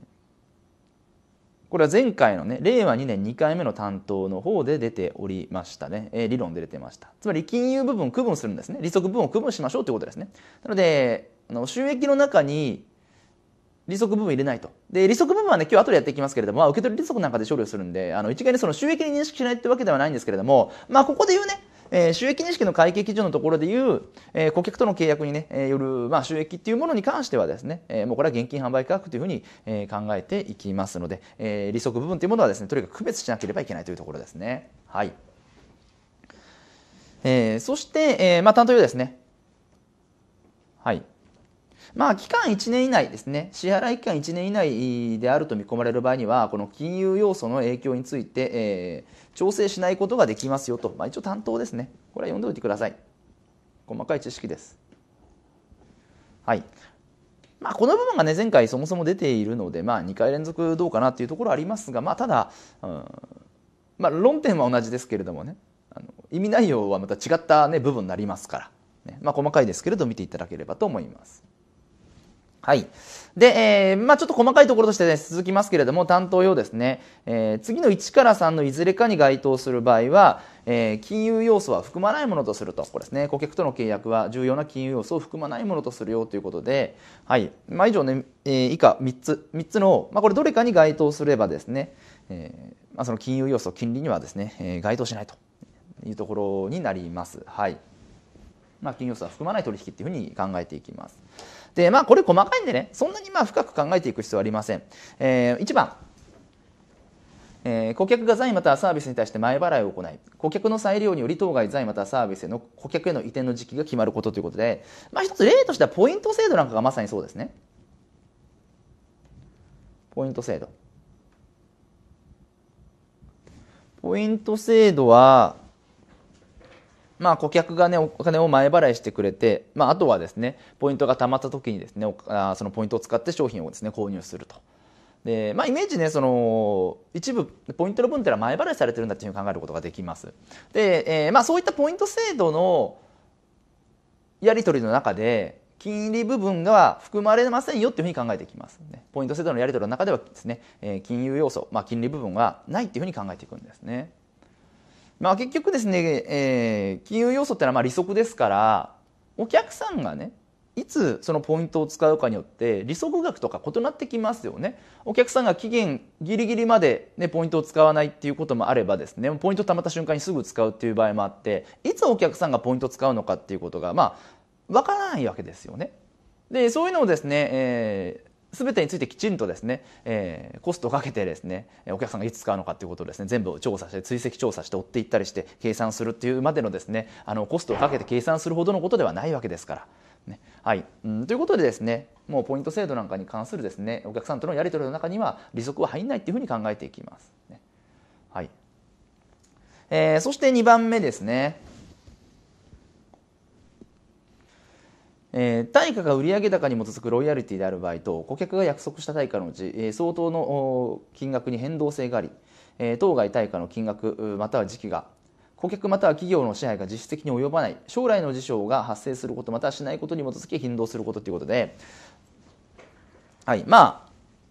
その、ね、対価が将来事象によって決まるような場合ですね、まあ、そういう契約がですね、えー、結ばれているようなケースですね。えーまあ、このケースはやはりですね将来事象のですね、えー、結果に依存するので、えーまあ、利息の部分は含まないというふうに考えていきます。はい。まあそういったねその将来の支払いとは言ってもですねその利息的な性格ではないということですよね。はい、別のね目的を持ってそういうね契約を結んでいるんで、えー、利息的な性格を持ってですねその契約を結んでいるっていうふうには考えないわけですね。えー、つまりそので現金販売価格と実際の契約価格の間に差があってもですよ。でその差分というものは何かの将来事象の、えー、一つの、きっかけによって変動するわけですから、ね、500円。現金だったら500円、ね、でもねこの取引は700円ですと、ね、でもその差が分の200円っていうのが単純に利息とは言えなくて、ね、将来事象によって200円部分がえーまあ、600円になったり650円になったりですね550円になったり、まあ、いろんなね、えー、あとは発生しなかったり発生したりっていうですね、えー、利息以外の要素で、まあ、決められているような、えー、契約だというふうに考えてみてください。はい。ですね。えー、ですね、えー、顧客または企業の支配が実質的に及ばない将来の事象が発生することまたしないことに基づき変動するという、まあ、ここですね。えーえー、まあこういったものに関してはですね利息というふうには考えていかないということですね利息以外の意味合いで現金販売価格と契約価格との間に差額をね設けたんだっていうふうに考えてください。はい。で3番もまあ同じようなところですかね約束した対価の額と財またサービスの現金販売価格との差額が、えー、顧客または企業に対する信用共有以外の理由で生じておりその差額がその理由に基づく金額になっているということで、まあ、これもね、えー、ちょっと2番と3番似ていますけれどもね。はいまあそういったね利息以外の要素で差額を設けました。って言ったら当然それは利息ではないわけですから、ね。うんまあ、ちょっと2はねもっと具体的に突っ込んでますけども3はもう全般的な話というようなイメージです。はい。でまあここはね細かいですから、まあ、あんまりねその中身を突っ込んでっていうよりも、まあ、中身がですねこう聞かれるってことはまあまずないと思うのでね。特に基準がね新しく試験範囲導入されて間もなくの段階でですねそれがいきなりこんな細かいところってはなかなかないと思います。えー、なのでまあその時整合の判断ですね。バッと読んでですね整合判断ができれば OK と、ね、それ以上深く突っ込まれることはまあないかなと思います、まあ、特に担当なんでそもそもそういう、ね、心配する必要はないですけれども整合の判断ですから、ね、はい。まあ、ここはねざっくりとで構いません。はい。であとはですね取引価格算定時の考慮事項として現金以外の対価の場合と顧客に支払われる対価とですね2つ考慮事項があります、えー、レジュメの方ではですねそこは割愛させていただいておるんですけれども、えー、まあちょっとですね一瞬だけ見ていきますかね。一応僕でやってるんでね現金以外の対価の場合ですねえー、取引価格をどうするのかということで現金以外の対価の場合ですね原則は現金以外の対価の時価で取引価格を算定していきますけれども現金以外の以外の対価の時価をですね、えー、まあ合理的に見積もることができないような場合であれば、財またはサービスの独立販売価格を現金外の対価としていきますというのがまず一つですね。はい。そして顧客に支払われる対価ですね。ちょっと担当上注意していただきたいのは、えー、まあキャッシュバックなんかがそうなんですけれども、顧客に支払われる対価ですね。えー、この顧客に支払われる対価はですね、販売費及び一般管理費として処理することは認められないんですよね。これ顧客に支払われる対価のページですね。はい。顧客に支払われる対価ですね。これは販売費及び一般管理費として処理することが認められないので、まあ、つまり収益から減額しなさいということなんですね。収益から減額しなさいよと。ね、販管費として処理することが認められない。あのここはまあ、計算もそうですけれども計算以上にね理論で、えーまあ、こういった部分は注意をしてください、ね、出る可能性は全然ありますからね。顧客に支払われる対価ですね。販管費処理は認められないんでね。収益から減額をしていかなければいけないということとあとはです、ね、タイミングですね。顧客に支払われる対価のタイミング。はい。えー、収益の認識時点または対価の支払い時点のいずれか遅い方で収益を減額する。ここも怪しいですね。出てもおかしくないですから。なので顧客に支払われる対価のページの欄外のワンポイントと注意。あのここはもうねぐりぐりってあの大きくねメモを入れてというかねマークを入れてあの理論要注意ですよと。で掲載の時にね、えー、しっかりとですねその欄外の注意とワンポイントを見ながらね計算必ずやるようにしてください。顧客に支払われる対価ですね。うん、まあ、計算よりも理論出る可能性が高いかなと個人的には思いますね。顧客に支払われる対価。ねはい、ただまあテキストの中のですね内容で完結するのでちょっとレジュメの方にはですねもうあの入れませんでした。はい。2つですよ注意点2つ顧客に支払われる対価説例見ながら注意点2つね、えー、大きくですねマークを入れておいてください。はいそれではですね、続いていきます。取引価格が決まったら取引価格を配分していきます。まあ、取引価格の配分の理論的な要素っていうのはですね、えー、一つ、値引きのですね、判断基準っていうのがあるんですね。これもそのままテキスト第5節。これもレジュメに載ってないんですけども、ちょっと見ていきますかね。えー、履行義務の取引価格への配分ということで、はい。ね、まあ、値引きに関するですね、原則は全ての履行義務に対して、え比例的に配分するというわけですが、まあ、例外としてですね要件満たしたら履行義務の一部に対して値引きを配分するということが認められました。でこれはですね令和2年2回目前回の担当式試験の理論じゃなくてごめんなさい計算で出てるんですねこの文って。値引きに関する計算で出てるんでまあちょっと重要性は低いかなと思いますけども一応ねあの文章でこういった要件この要件を満たせば履行義務の一部に値引きを配分することができますので、あの、次のページに説例ありますからね。次のページに説例ありますから、この説例と合わせて要件だけ確認はしておいてください。まあ、計算ではね、おそらく前回出てるので出ないと思うんですね。はい。まあ、容認規定はちょっと簿記のテキストと照らし合わせて一応一回見ていただければと思います。はい。で、えー、もう一つですね、えー、この履行義務を取引価格へ配分する基準っていうのはの独立販売価格に基づいてですね配分していくんですね履行義務の取引価格への配分と。えー、これとポイント制度なんかもそうでした。ポイント制度も、ポイント部分の独立販売価格と、ポイント以外で商品を引き渡す部分の独立販売価格を見積もって、えー、その独立販売価格で取引価格を配分していたんですよね。ですか？ちょっとポイント制度のところ一緒見ましょうかね。はい、これポイント制度の計算の説例です。ポイント制度の計算の説例でですか？この取引価格15万を商品とポイントにそれぞれ分けたんですね。商品の方に14万625。ポイントに9375分けてるんですけれども、その基準って独立販売価格なんです。独立販売価格ベースで配分してるんですね。独立販売価格ベースで配分してると。で、これ独立販売価格がきちんと分かっていればいいんですけれども、その独立販売価格が分かってないときは、独立販売価格を見積もっていく必要性があります。それがレジュメ12ページの2番です。独立販売価格の見積もりと。はい。ですか？取引価格を履行義務に配分するときに独立販売価格の金額をですね基準に履行義務に配分していきますけれどもその独立販売価格が分からなければ見積もっていくとはいで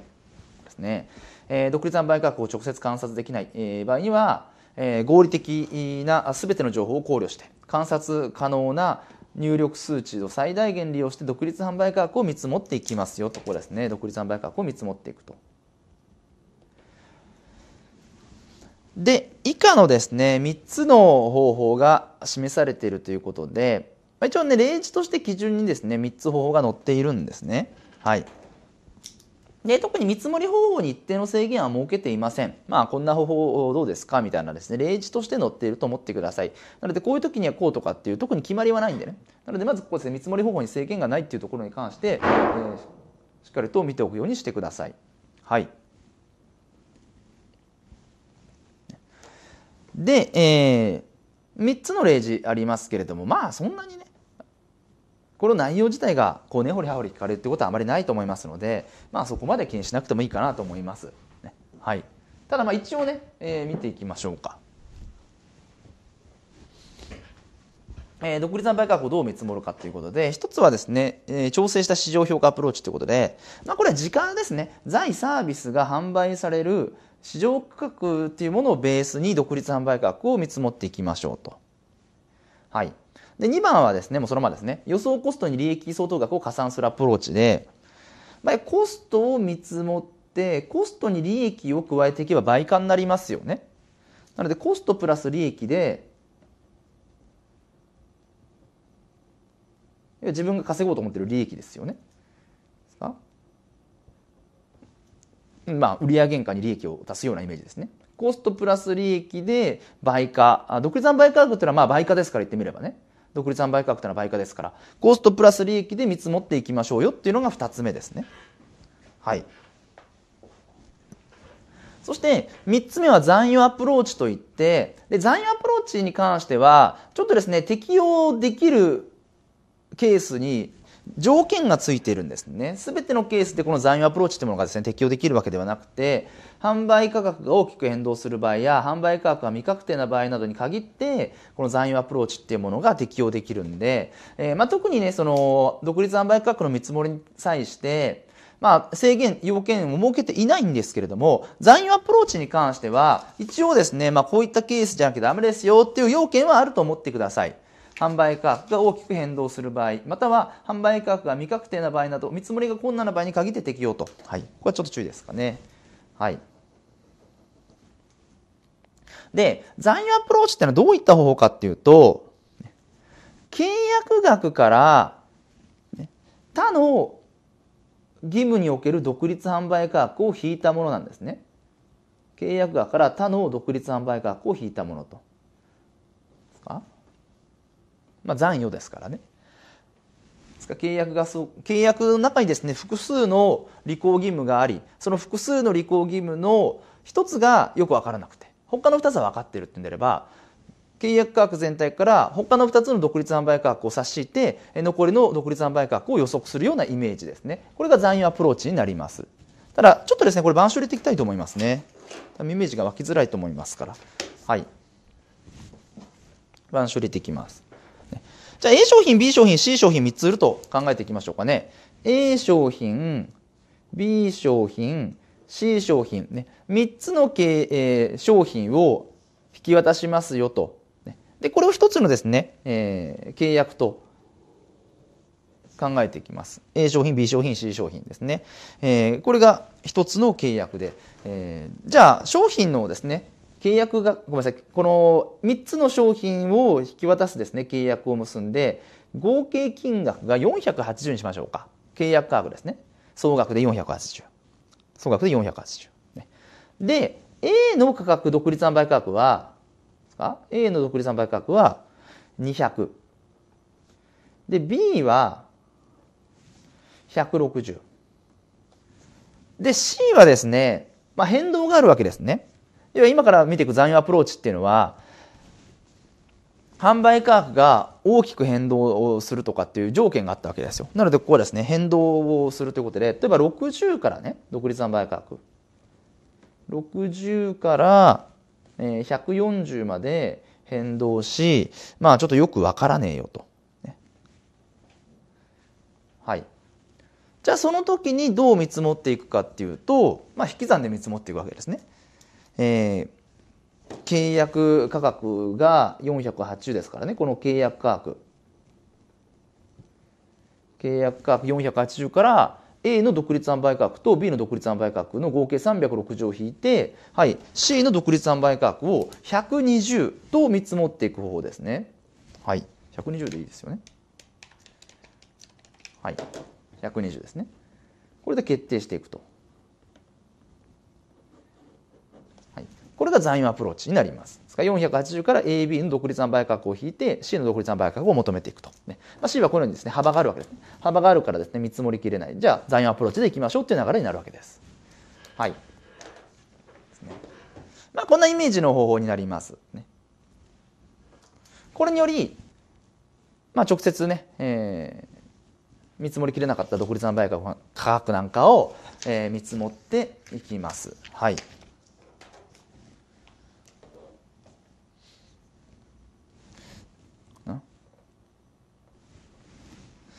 以上ですね独立販売価格の見積もりというところになります。あ、まあ、ちょっとおまけみたいなものですけれどもちょっと気になったのでですねレジュメに、えー、入れました、えー、まあ情報量はそんな多くないですからね、まあ、一応ふーんという感じで見ていただければと思います。えー、まあ、一定の制限も設けていないというところと残余アプローチはですね一応条件要件があのあるんだと、ね、こういうケースでしか使えませんよという、まあ、この辺りを知っていただければいいかなと思います。はい、えー、それではですね収益認識の最終ステップに行きます。えー、履行義務の充足による収益認識ですね、入っていきます。レジュメ13ページ。まあ、これはまさにもう最終ステップですね。はい。まあ、一読していきましょうか。えー、企業は約束した財サービスを顧客に移転することにより、履行義務を充足したとき、または充足するにつれて、収益を認識するということで、はい。えー、履行義務の充足の仕方っていうのは2種類あったんですよね。充足した時または充足するにつれてと。はい。で充足した時っていうのは、まあ、一時点での収益認識なわけですね。充足した時っていうのは、まあ、一時点の収益認識と。えー、一定時点。一定時点の収益認識。で充足するにつれてっていうのは、まあ、これ一定期間ですよね一定時点じゃなくて一定期間の収益認識だと。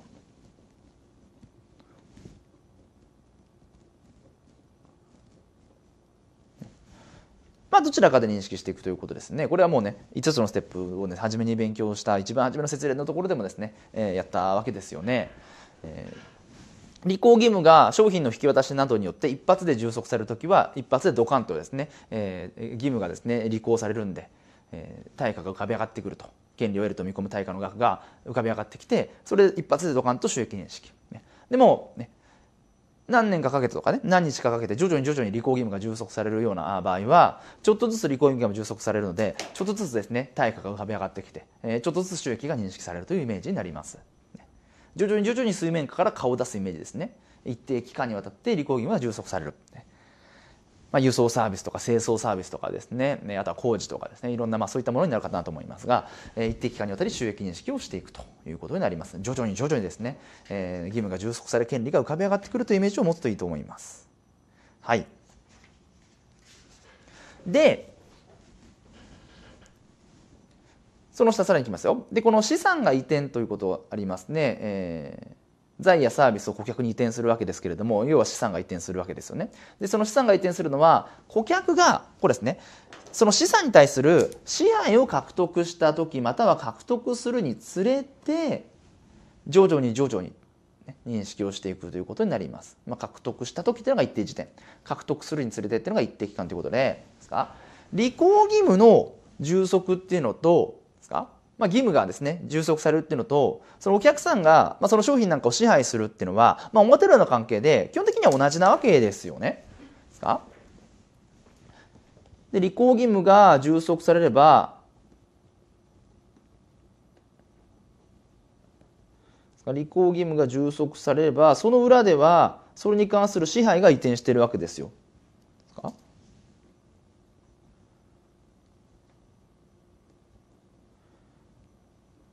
立候義務の充足の裏では、まあ、支配の移転が行われていると言えますね。はい。ですか？まあ、そんな難しく考える必要はなく、えー、当社がですね、お客さんに商品引き渡しましたって言ったら、この引き渡す義務が充足されますよね。充足されますよね。お客さんはこれやってくるわけですね。商品がですね、えー、届くわけです。商品届けば支配獲得するわけですよ。だから、まあ、販売する企業からすれば義務を果たす。で、購入するお客さんからすれば、商品やってくるから、その商品に関する支配を獲得すると。なんで、履行義務の充足と支配の獲得は表裏の関係です。で、基本的にはま同タイミングっていうふうに考えていきますね。はい。まあ、徐々に徐々に義務が充足されれば、お客さんは徐々に徐々に支配を獲得していくっていうふうに考えていきますからね。徐々に徐々にですね、えー、履行義務が充足されれば、徐々に徐々に支配を獲得していくと。ね、はい。で、基本的にま表裏の関係で同タイミングなんだけれども、ただ、まあ、混乱しないように、収益認識っていうのはお客さんの立場からつまり支配の獲得の観点から収益認識っていうものを検討していくと考えてください。ですか？はい、支配の移転は企業が支配を創出した時または顧客が支配を獲得した時のいずれかとなるということで支配の創出と、えー、支配の獲得は表裏の関係ですよね。つまり履行義務の充足ってことは、まあ、イコール支配の創出とも言えるわけですよ。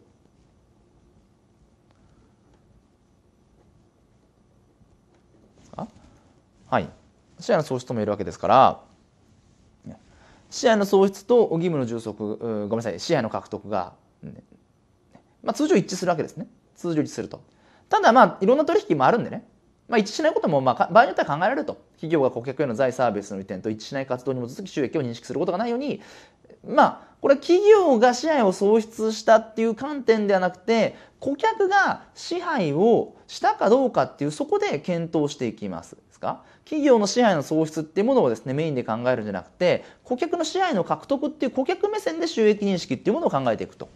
まあ、そのタイミングですね。はい。で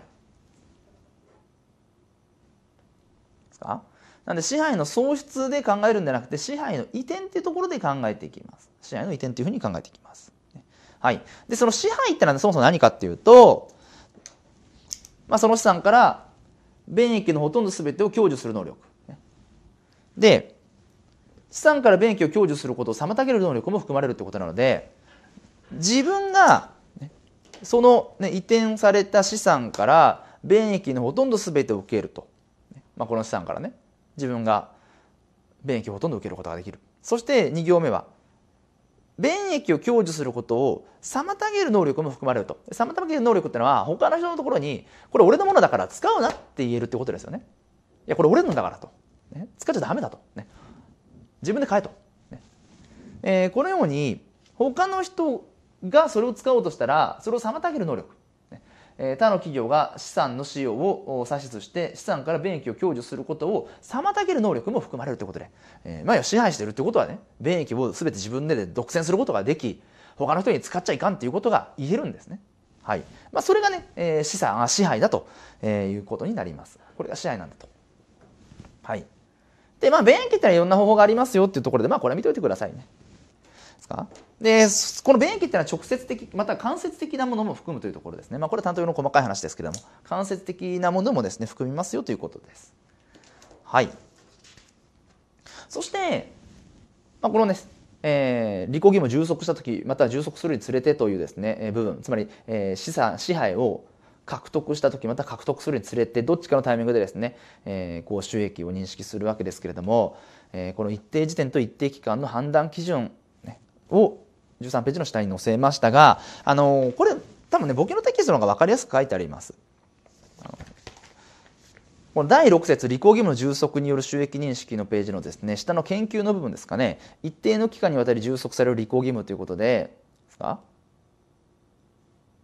はい。まあ、ここにですね、書かれているものをそのまま写したんですが、えー、ただまあ、テキストなんか具体例が書いてあります。こっち具体例がないんですね。なのでテキストの方が分かりやすいかなと思いますので、全然テキストの方で見ていただければと思います。ね、ちょっと説明していきますね。はい。えー、まず判断基準っていうのは、一定期間にわたり履行義務充足されるかどうかっていう判断をして、ちょっとこれ番号変わるんで、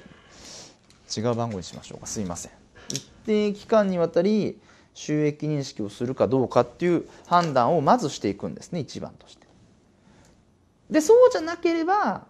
一定時点だっていう流れなんですね。なのでまずはじめはですね一定期間にわたり履行義務が充足されるかどうかっていう判断をしていきそうじゃなかったら一定時点ですよっていう流れになります。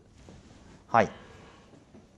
で一定期間にわたり履行義務充足するかどうかっていう話は要件が3つあってですね以下の丸1から丸3の要件のいずれかを満たす場合一定期間にわたり履行義務を充足し収益を認識するということで、まあ、いずれかですねいずれか満たせば一定期間にわたる履行義務の充足そして徐々に徐々に収益を認識していくということになるんですね。はい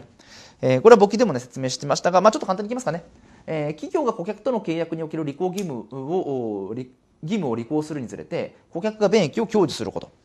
義務の履行につれて顧客が便益を享受っていうのは、えー、まあ、オフィスの清掃サービスとかねあとはトラックの輸送サービスなんかですね。そういったサービス提供契約がまさにこの1番に該当します、えー、まあ、この1番日常的反復的にっていうようなですね意味合いが強いと思ってください。日常的反復的と。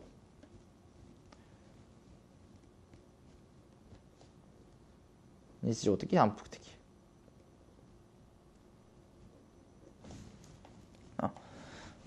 なので清掃、ね、ビルの清掃サービスの1年間契約とかね、えー、トラックの輸送サービス1か月契約とか、えー、まあそういったですね。一定期間にわたり契約結び。そしてまあ日常的反復的に、えー、義務が履行されると、はい。まあ、そんな意味合いが強い要件だと思ってください。はい、これを満たせば一定期間にわたる収益認識になります。一定期間にわたり徐々に徐々に、え、履行義務が充足されるという形になります。はい、ではいきます。2番。えー、企業が顧客との契約における義務を履行することにより資産が生じるまたは資産の価値が増加し当該資産が生じるまたは当該資産の価値が増加するにつれて顧客が資産を支配することということで、はい。えーまあ、資産の価値が増加するっていうのがまあ一つですねポイントになりますかね。はい。資産の価値が増加する。これはもう工事ですね工事、工事。要は工事をし建物を建てていけばそれだけ資産価値が増加しますよね、えー、もともと更地だったものに20階建てのビル建てますよ、ね、そのビルがですねこう建てられていくプロセスの中で1階2階3階4階ってフロアがどんどんですね積み重なっていくと、まあ、実際ちょっとそんなねあの単純なものかっていうのは私は分からないですけどもね、えー、フロアが積み重なっていくにつれて、まあ、その建物の価値が高まるわけです。そしてお客さんもそれに関する支配を獲得できる。そしたら徐々に徐々に履行義務が充足されているということでこれなんか本当に工事ですね。工事。工事をイメージしてください。はいこれでしょうそして3つ目。3つ目はですね、さらに要件があるんですね。要件の中に要件があって、ややこしいなという話ではありますけれども、はい。3番目はですね、以下のいずれの要件も満たすことですね。どちらも満たすんですよ、これは。いずれも満たすんですね。いずれもですからね。両方ですからね。いずれかじゃなくていずれもですよ。はい。えー、企業が顧客との契約における義務を履行することにより別の用途に転用することができない資産が生じること、はい。ですね、別の用途に転用することができない資産。もう言い方がねとにかくこの基準はややこしいと。で別の用途に転用することができない資産の俺これ典型例はですねコンサルティングサービスだと思ってください、ね。えー、コンサルサービス受けます、ね。えー、うまくいってないんですよ、ね、で会計士講座どうやって売れるんですかと、ね、うまくいってないんですよって、えー、でレックさんこうこうしたらいいよと、ね、こうこうしたらいいよってねアドバイスを受けるとしますよね。会計士講座ね、えー、担当どっかやめたらいいじゃんとかね、えー、もっと入門だけバラ売ればいいじゃんとか、ね、企業だけ売ればいいじゃんとかね、まあ、いろんなアドバイスを受けるかもしれないですけども、えー、それってレックにしか通用しないわけですね。レック会計士講座にしか通用しないアドバイスなわけですよ。ね、はい。でじゃあこのレック会計士講座向けのアドバイスを他の予備校さんにそのままそっくりアドバイスを移すことできるかって言ったらこれ移せないですよね。だって別のね状況ですからあの全く同じ状況ってまあ絶対ないわけですよね。別のね状況になるわけですからね他の予備校さんっていうのは。なのでレック会計士講座向けのアドバイスをそっくりそのまま他のですね、えー、予備校に転用することができない、ね、まさにここなんですね。別の用途に転用することができない資産。あの、まあ、この資産っていうのは、まあ、専門的な意見っていうところですかね。ここの資産っていうのは、ね。まあ、専門的意見っていうふうに考えてください。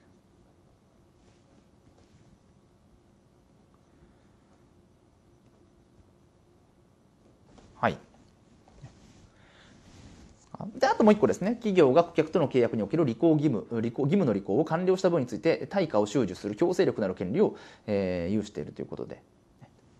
はい。まあ、対価を収受する強制力なる権利をあるということで、まあ、ここは別にでしょう。ね。お金回収する権利がありますよということですね。はい。まあ、以上2つの要件を、えー、満たした場合にはまあ、一定期間にわたる収益認識になります。はい、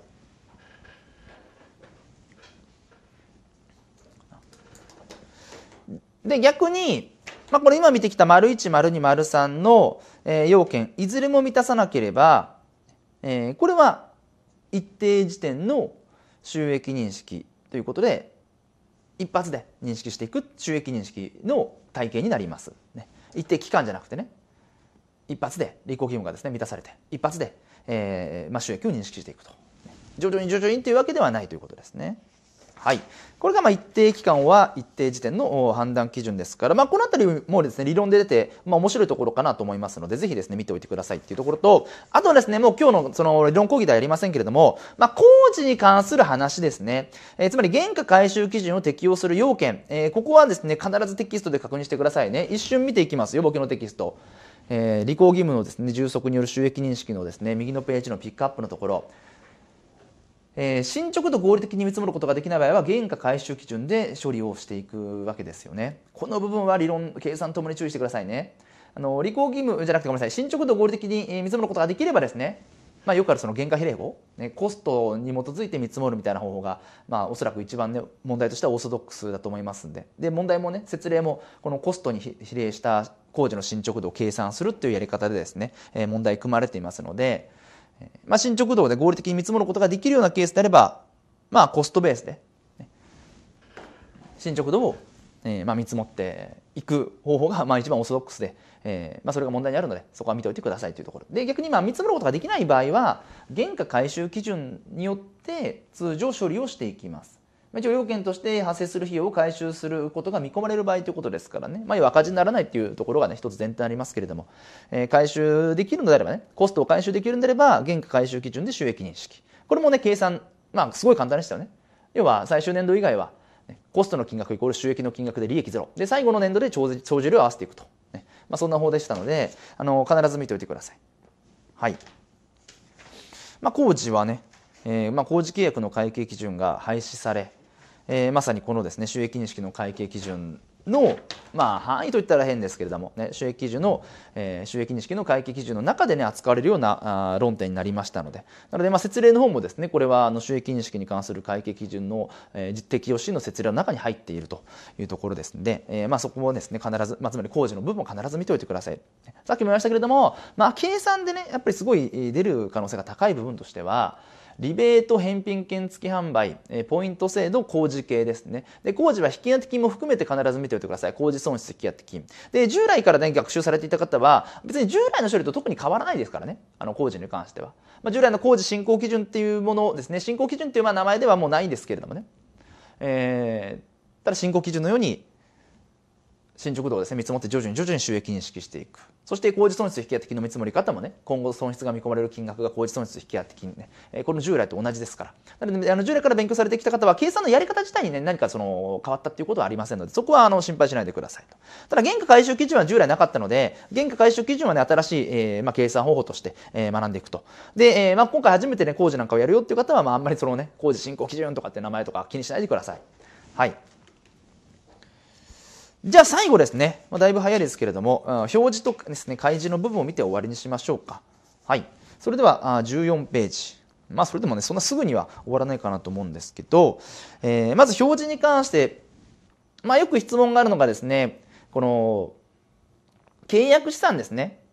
契約資産と顧客との契約から生じた債権の違いは何だというところですね。あのこれは結構ね、質問があったりします。はい。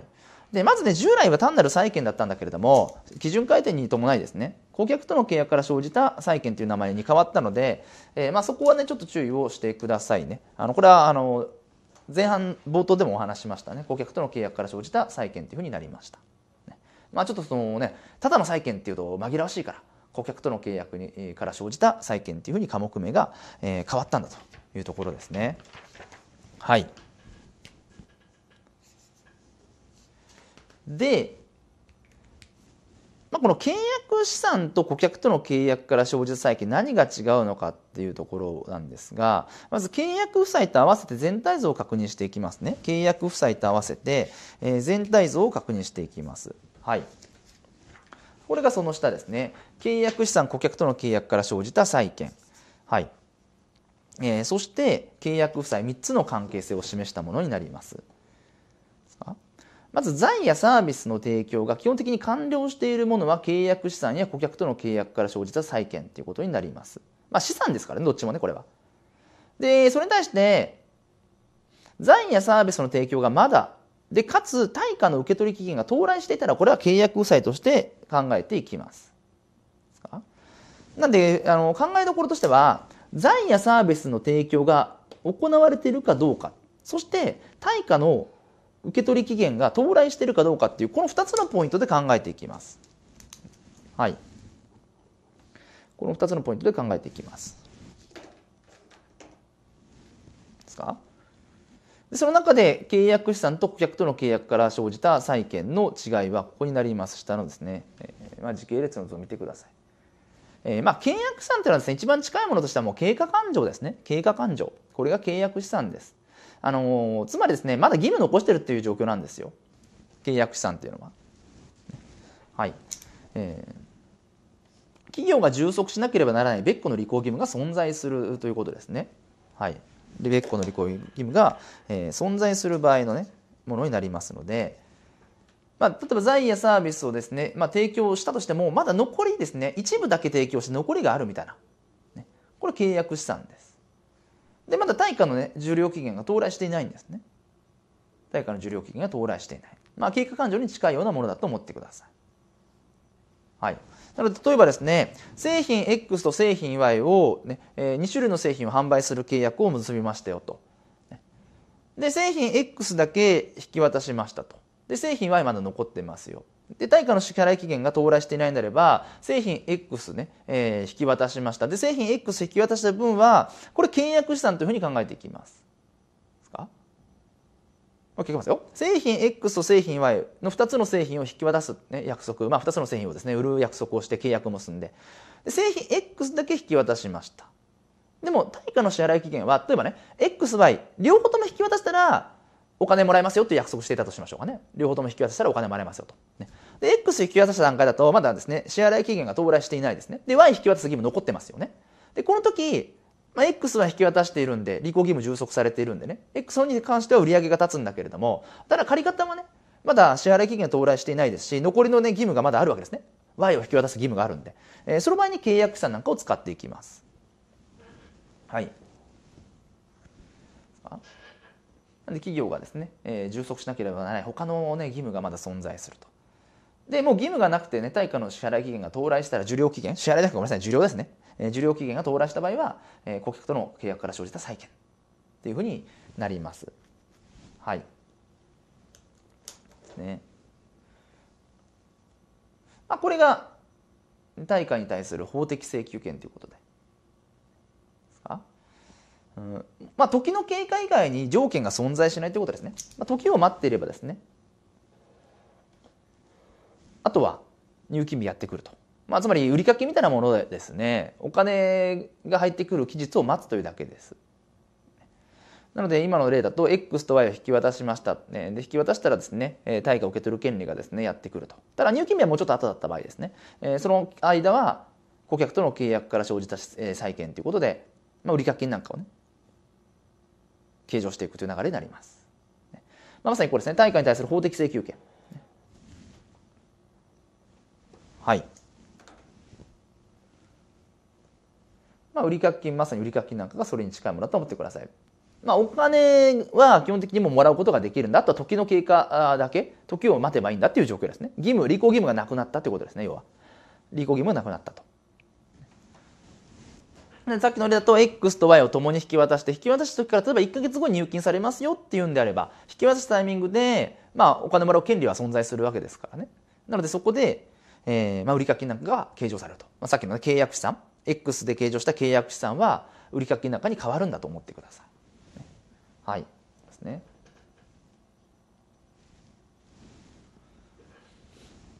時の経過以外の条件が存在しない。ね。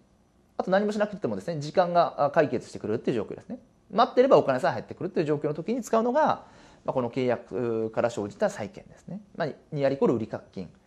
契約さんっていうのは、まあ、経過感情的なイメージですね。履行義務がまだあるんだというような状況です。はい。で、契約さえもね、前受け金っていうふうに考えちゃってください。契約さえ前受け金ですね。で、対価を受け取ってった場合もそうですし受け取ってなくても期限が到来してしまえばもうこれはね契約負債ということで、えー、認識していきます。一応意義見ていきますかね契約負債。財またはサービスを顧客に移転する前に顧客から対価を受け取る場合。はい、顧客から対価を受け取った時または、えー、受け取る期限が到来した時にいずれか早い時点で顧客から受け取る対価について契約負債を、え、BS に計上するということで、まあ、実際受け取ってなくてもですよ。ここ注意ですね、担当では。受け取ってなくても、受け取る期限が到来していれば、もう契約負債というものを計上していきます。で、これは財やサービスを提供する義務ですよね。あの、財やサービスが提供していればその義務がないわけですからね。だから契約資産か顧客との契約から生じた債権になるわけですけれども、まだ財やサービスを提供してないってことは義務がある状況ですからね。義務がある状況のもと、お金をもらう、もしくは期限が到来した。その時に計上するのがこの契約債というものになります。契約債ですね。はい。まあ、従来は前受け金的なもので扱っていたんですけれども、うん、まあ別に前受け金でもね、処理はできますけれども、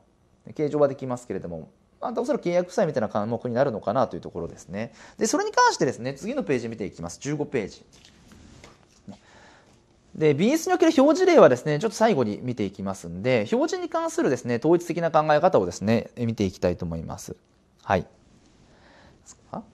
えー、表示に関するです、ね、考え方の部分で顧客との契約から生じる収益を適切な科目を持って PL に表示する。なお顧客との契約から生じる収益についてはそれ以外の収益と区分して PL に表示するかまたは両者を区分して PL に表示しない場合は顧客との契約から生じる収益の額を中記すると。はい。まあちょっとこう振るとこうつきますかね。ここが大事ですかね顧客との契約から生じる収益っていうものはそれ以外の収益とまあ基本的に分けて表示するんだと。で、分けられないときは中期しろってことですね。分けて表示する。分けられないときは中期です。はい。それ以外の収益と区分して PL に表示するか、両者を区分して PL に表示しない場合は、中期すると。中期すると。はい。中期しますよと。ですか？で、どういう科目をもってして中期、いやごめんなさい、えー、PL とか BS にね、表示するかっていうと、これね、具体的な科目はですね、示されないんですね。はい。表示科目を決定するための具体的な指針は示さないことにしましたよと。なんで、まあ、企業の判断によって、様々な表示例があります。だから、絶対これっていうわけではないんですね。だからさっきもね、契約負債として、まあもともと前受け金だったものが、まあ契約負債としてですね、まあ表示されるんだということは言ったんですけれども、ただ、絶対とは限らないんですね。企業によってその表示っていうものはまちまちになる可能性がありますので、ここはね、まあいろんなね、えー、柔軟な対応をするために、ね、まあ表示区分、まあこういったものをですね、使うということで、まあこれですね、適当な科目を持って PL に表示するとかね、適切な科目を持って BS に表示するとありますからね。だから具体的な科目っていうものを示してはいないんですね。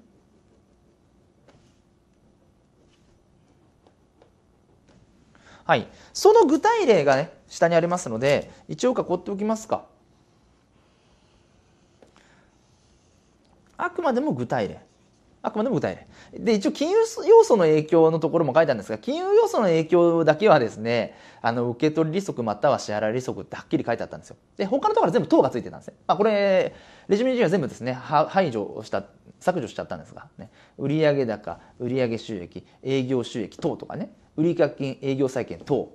契約資産、工事未収入金等、契約債マーケ金等ってあるんだあったんだけども、えー、金融要素の影響のところだけは、ね、等なかったんです。まあこれ別にそんな気にする必要ないですけどね。はい。で、まあ、金融要素に関しては、やはり PL で、ね、区別をしていかなければいけませんよと。顧客との契約から生ずる収益を、ね、金融要素とは区別していこうと。まあ、ここも注意ですかね。まあ当然ですよね。まあさっきのですね、金融要素のところでも見た通りですね、えー、収益の額基本的には現金の販売価格をベースにするわけですから、えー、金利部分は金利部分で別の、ね、科目で表示をしていこうということですよね。はい。まあここはその、ポイントここだと思うんですね。表示科目を決定するための具体的な指針は示されていないので、まあカチッと決まってるわけではないんですね。はい。なので上のところいきますよ。まあ例としては、まあ、こんな例で、例えばですね、えー、新基準適用前は売掛金としていたと。一括売掛金なんだけれども、えー、それを、まあ、契約資産と売掛金に、まあ、二分割するようなことが考えられるわけですよね。まあ、履行義務がですね、残っていようが残っていまいが、いまいが従来は売掛金一括だったんですが、履行義務残っているものは契約資産になりますからね。まあ、さっきの話ですね。X と Y を引き渡す契約も進んでいて、従来だったら X 引き渡したらその瞬間に売掛金なんですよ。もう X 引き渡した分だけ、X 分はね。で、Y 引き渡してなくてもね、残りの別個の履行義務があっても、X 引き渡せば、X 分だけ売掛金計上できたんですが、今できないんですね。X と Y を引き渡して、で、XY 引き渡したタイミングで、えー、まあ、対価を受け取るような権利が発生するのであればですよ。X 引き渡しても残りの履行義務あるわけですから、ね、そしたらその部分は契約資産なわけですよね。なのでさっきの例だと X のお金が、えー、900円で Y のお金が500円だとすると、ね、はい。イメージとしてですよ、ね、はい。まあ、ただ Y を引き渡す時は全部売掛になるの。かそうですね。すいません。ちょっと今の例は適切ではないですね。失礼しました、ね、はい。まあ、このように義務が残っているものは契約資産なんだと、そして、えー、契約負債の方もですね、まあ、従来は前受け金で一括して表示されていたものなんだけれども、えーまあ、履行義務を残しての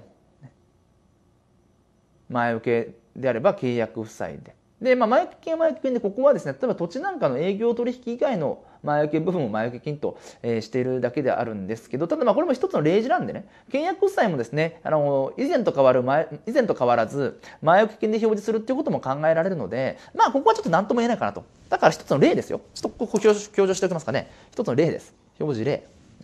はい。まあそういうのが考えられますよということですね。はい。ただまあこの部分表示に関する基本的な考え方であったりだとかねちょっと細かいですけれども担当要注意のところねあとここもねあのまあ見ておいてくださいねちょっと担当ですねまあこの辺りはね表示はここなんかちょっと計算では出しづらいと思いますので、まあ、理論で出る可能性が高いかなと思います。うん、でもまあ計算で出ても面白いかなと思うんですね。この契約資産と、え、顧客との契約から生じた債権の違いなんかはね面白いと思いますから。はい。まあ、必ず見ておいてください。そして最後、中期ですね。中期に関しては、収益認識に関する中期、ね、これ一応3つだけは覚えておくといいと思います。収益認識に関する中期事項ですね。はい。えー、まあ、もう3つだけでいいです。ね。3つだけ覚えておいていただけたらなと思います。はい。まあ、ここまでですね、全体としての、まあ、内容は以上になり、えー、まあ、最後ね、レジュメに17ページ、18ページには、えー、大々的な取扱い一覧というのがあります。ね、大々的な取扱いですね。はい。まあ、ここはね、各自、あのー、見ておいてください。大々的な取扱いですね。はい。で、結構重要だと思います。ここは担当の理論なんかでは。ですか？特に重要性が高いと考えられる項目は星を入れてあるので、まあ、一応ね星の部分余裕がない方は中心に見ていただきたいんですけど、これ前半やったですね。日本の慣習なんかを考慮して、イファースを取り入れつつですね、えー、まあ、イファースにはないような取り扱い、当然日本古くからのですね、慣習なんかの取引ですから、日本がね、ずっと昔からやっているような、まあ、ずっとじゃないところもありますけれどもね、えー、日本のですね、取引慣行や従来の会計処理を考えて、それを廃止したらですね、実務上かなり不都合が生じるというようなものについては残しているんですね。で、それがまあ一つね、17ページ、18ページに書いてありますが、えー、まあ例えばですね、ここですかね、工事。工事のごく短い契約については、まあ、従来であれば完成基準と言われていた、工事完成した時に一発で収益認識することもできますよと。でも基本的にできないんですよ。収益認識の考え方っていうのは、まあ、従来でいう進行基準、徐々に認識しますよっていう、えー、考えや、原価回収基準なわけですよ。ちょっとここ進行基準という言葉を使っていますけれども、徐々にですね、あの、収益を認識する方だと思ってください。ね、はい。で、まあ、名前あまり多分あの出ないかなと思いますけども一応徐々に認識する方法をですねここでは進行基準とさせていただいておりますね。はいまあ、これが原則的なんですけどね。一応大々的な取り扱いとして、まあ、従来のですね工事完成時に一発で収益認識することがねできる完成基準認められていますよということと、えー、あとはそうですねその2つ下、えー、出荷基準の取り扱い原則としてさっき見た通りその支配の移転ですね。お客さんの支配の移転っていうところをベースに収益の認識っていうことを考えていきますよね。だからお客さんがその商品なんかに関する財またはサービスに対する支配が獲得されなければ収益は認識されないわけですよ。で、それは企業がですね、その商品を出荷しても、まだお客さんのところに届いてないんで、支配獲得しないですよね。で、こういう段階では原則的には収益認識できないんだけれども、まあその日本のですね、古くからのですね、会計処理なんかを考えて、まあ出荷した時やですね、えー、荷物が届いた時に収益認識、えー、することもできるんだと。ただ、一応要件があって、これですね。出荷時から商品製品の支配の支配が顧客に移転されるまでの期間が通常の期間の場合ということで要は社会通念上ね、えー、一般的な期間っていうものを浄化するとさすがにそれはね出荷基準とかは認められないとちゃんとお客さんがですね、えー、支配獲得したタイミングで収益を認識するというわけですけれどもまあ一般的な、ね、期間であればまあ、出荷した時にですねもう売上計上してもいいでしょと、ね、お客さんがシェア獲得してなくてもいいでしょっていう、えーまあ、日本のですね古くからの会計慣行に照らしてですね、えーまあ、実務上の便宜なんかをですね勘案して決められた処理ですね。はい。まあ、大体的な取り扱いですね。まあ、バーっと見ていただければと思いますね。どういうですね、例外的な取り扱いが認められるのかですか。この大体的な取り扱いっていうのは、あ IFRS にはないものですね。ですかこの収益認識の基準っていうのは IFRS15 号をですね基本的に移してるんだけれども、えー、まあ日本のですね観光が当然その IFRS には入ってないので、えー、日本の観光なんかをですね、えー、配慮して大体的な取り扱いを認めた、えー、それが一応ね一覧表として17ページ18ページにありますので、まあ、ざっと目を通していただけるといいかなと思います、えー、まあこの大体的な取り扱いはですね出る可能性は個人的には高いかなと思います理論で。まあ、そのすぐに出るかどうかっていうのは別の質ね、えー、結構題材としては面白いと思いますから、ね。はい、ぜひねこれは見ておいてください。はい。えー、ということでですね、後半はもうね、以上となりますので、あとはですね、もう簿記のテキストとですね、併用して、あの、前半にもお伝えした通り、とにかく簿記との絡みが結構強いですね、基準になりますので、えー、必ず簿記と財表のレジュメはセットで、あの、押さえていくように、学習するようにしてください。はい。じゃあ、あとはね、まあ、当連の解説だとかでですね、また、それに関してはね、えー、まあ、担当するオムーセともにですね、必要があれば、当連解説でお話をさせていただきます。はい。えー、それでですね、えー、まあ、以上をもちまして、改定歩行ですね、2回の講義は以上となります。まあ、この改定歩行のですね、えー、論点が出る可能性もありますけれども、当然ね、その試験の範囲としては、改定されていない範囲のが圧倒的に広いわけですからね、改定される部分だけにですね、こう、特化してっていうことはしないようにしてください。ね。まあ、特化するってことはないと思うんですけども、改定するっていう部分の学習に関して意識が強すぎると、やっぱりね、改定されてない、まあ、圧倒的に広い他のね、えー、分野の学習が不十分になる可能性がありますので、ですか？あくまでも改定されてるところはですね、重要でありますよ。重要でありますけれども、範囲的な広さ、バランスなんかはね、しっかりとあの考えながら勉強はしていってくださいね。バランス重視ですからね。はい。えー、それではですね、改定歩行2回分ですね、以上となります。お疲れ様でした。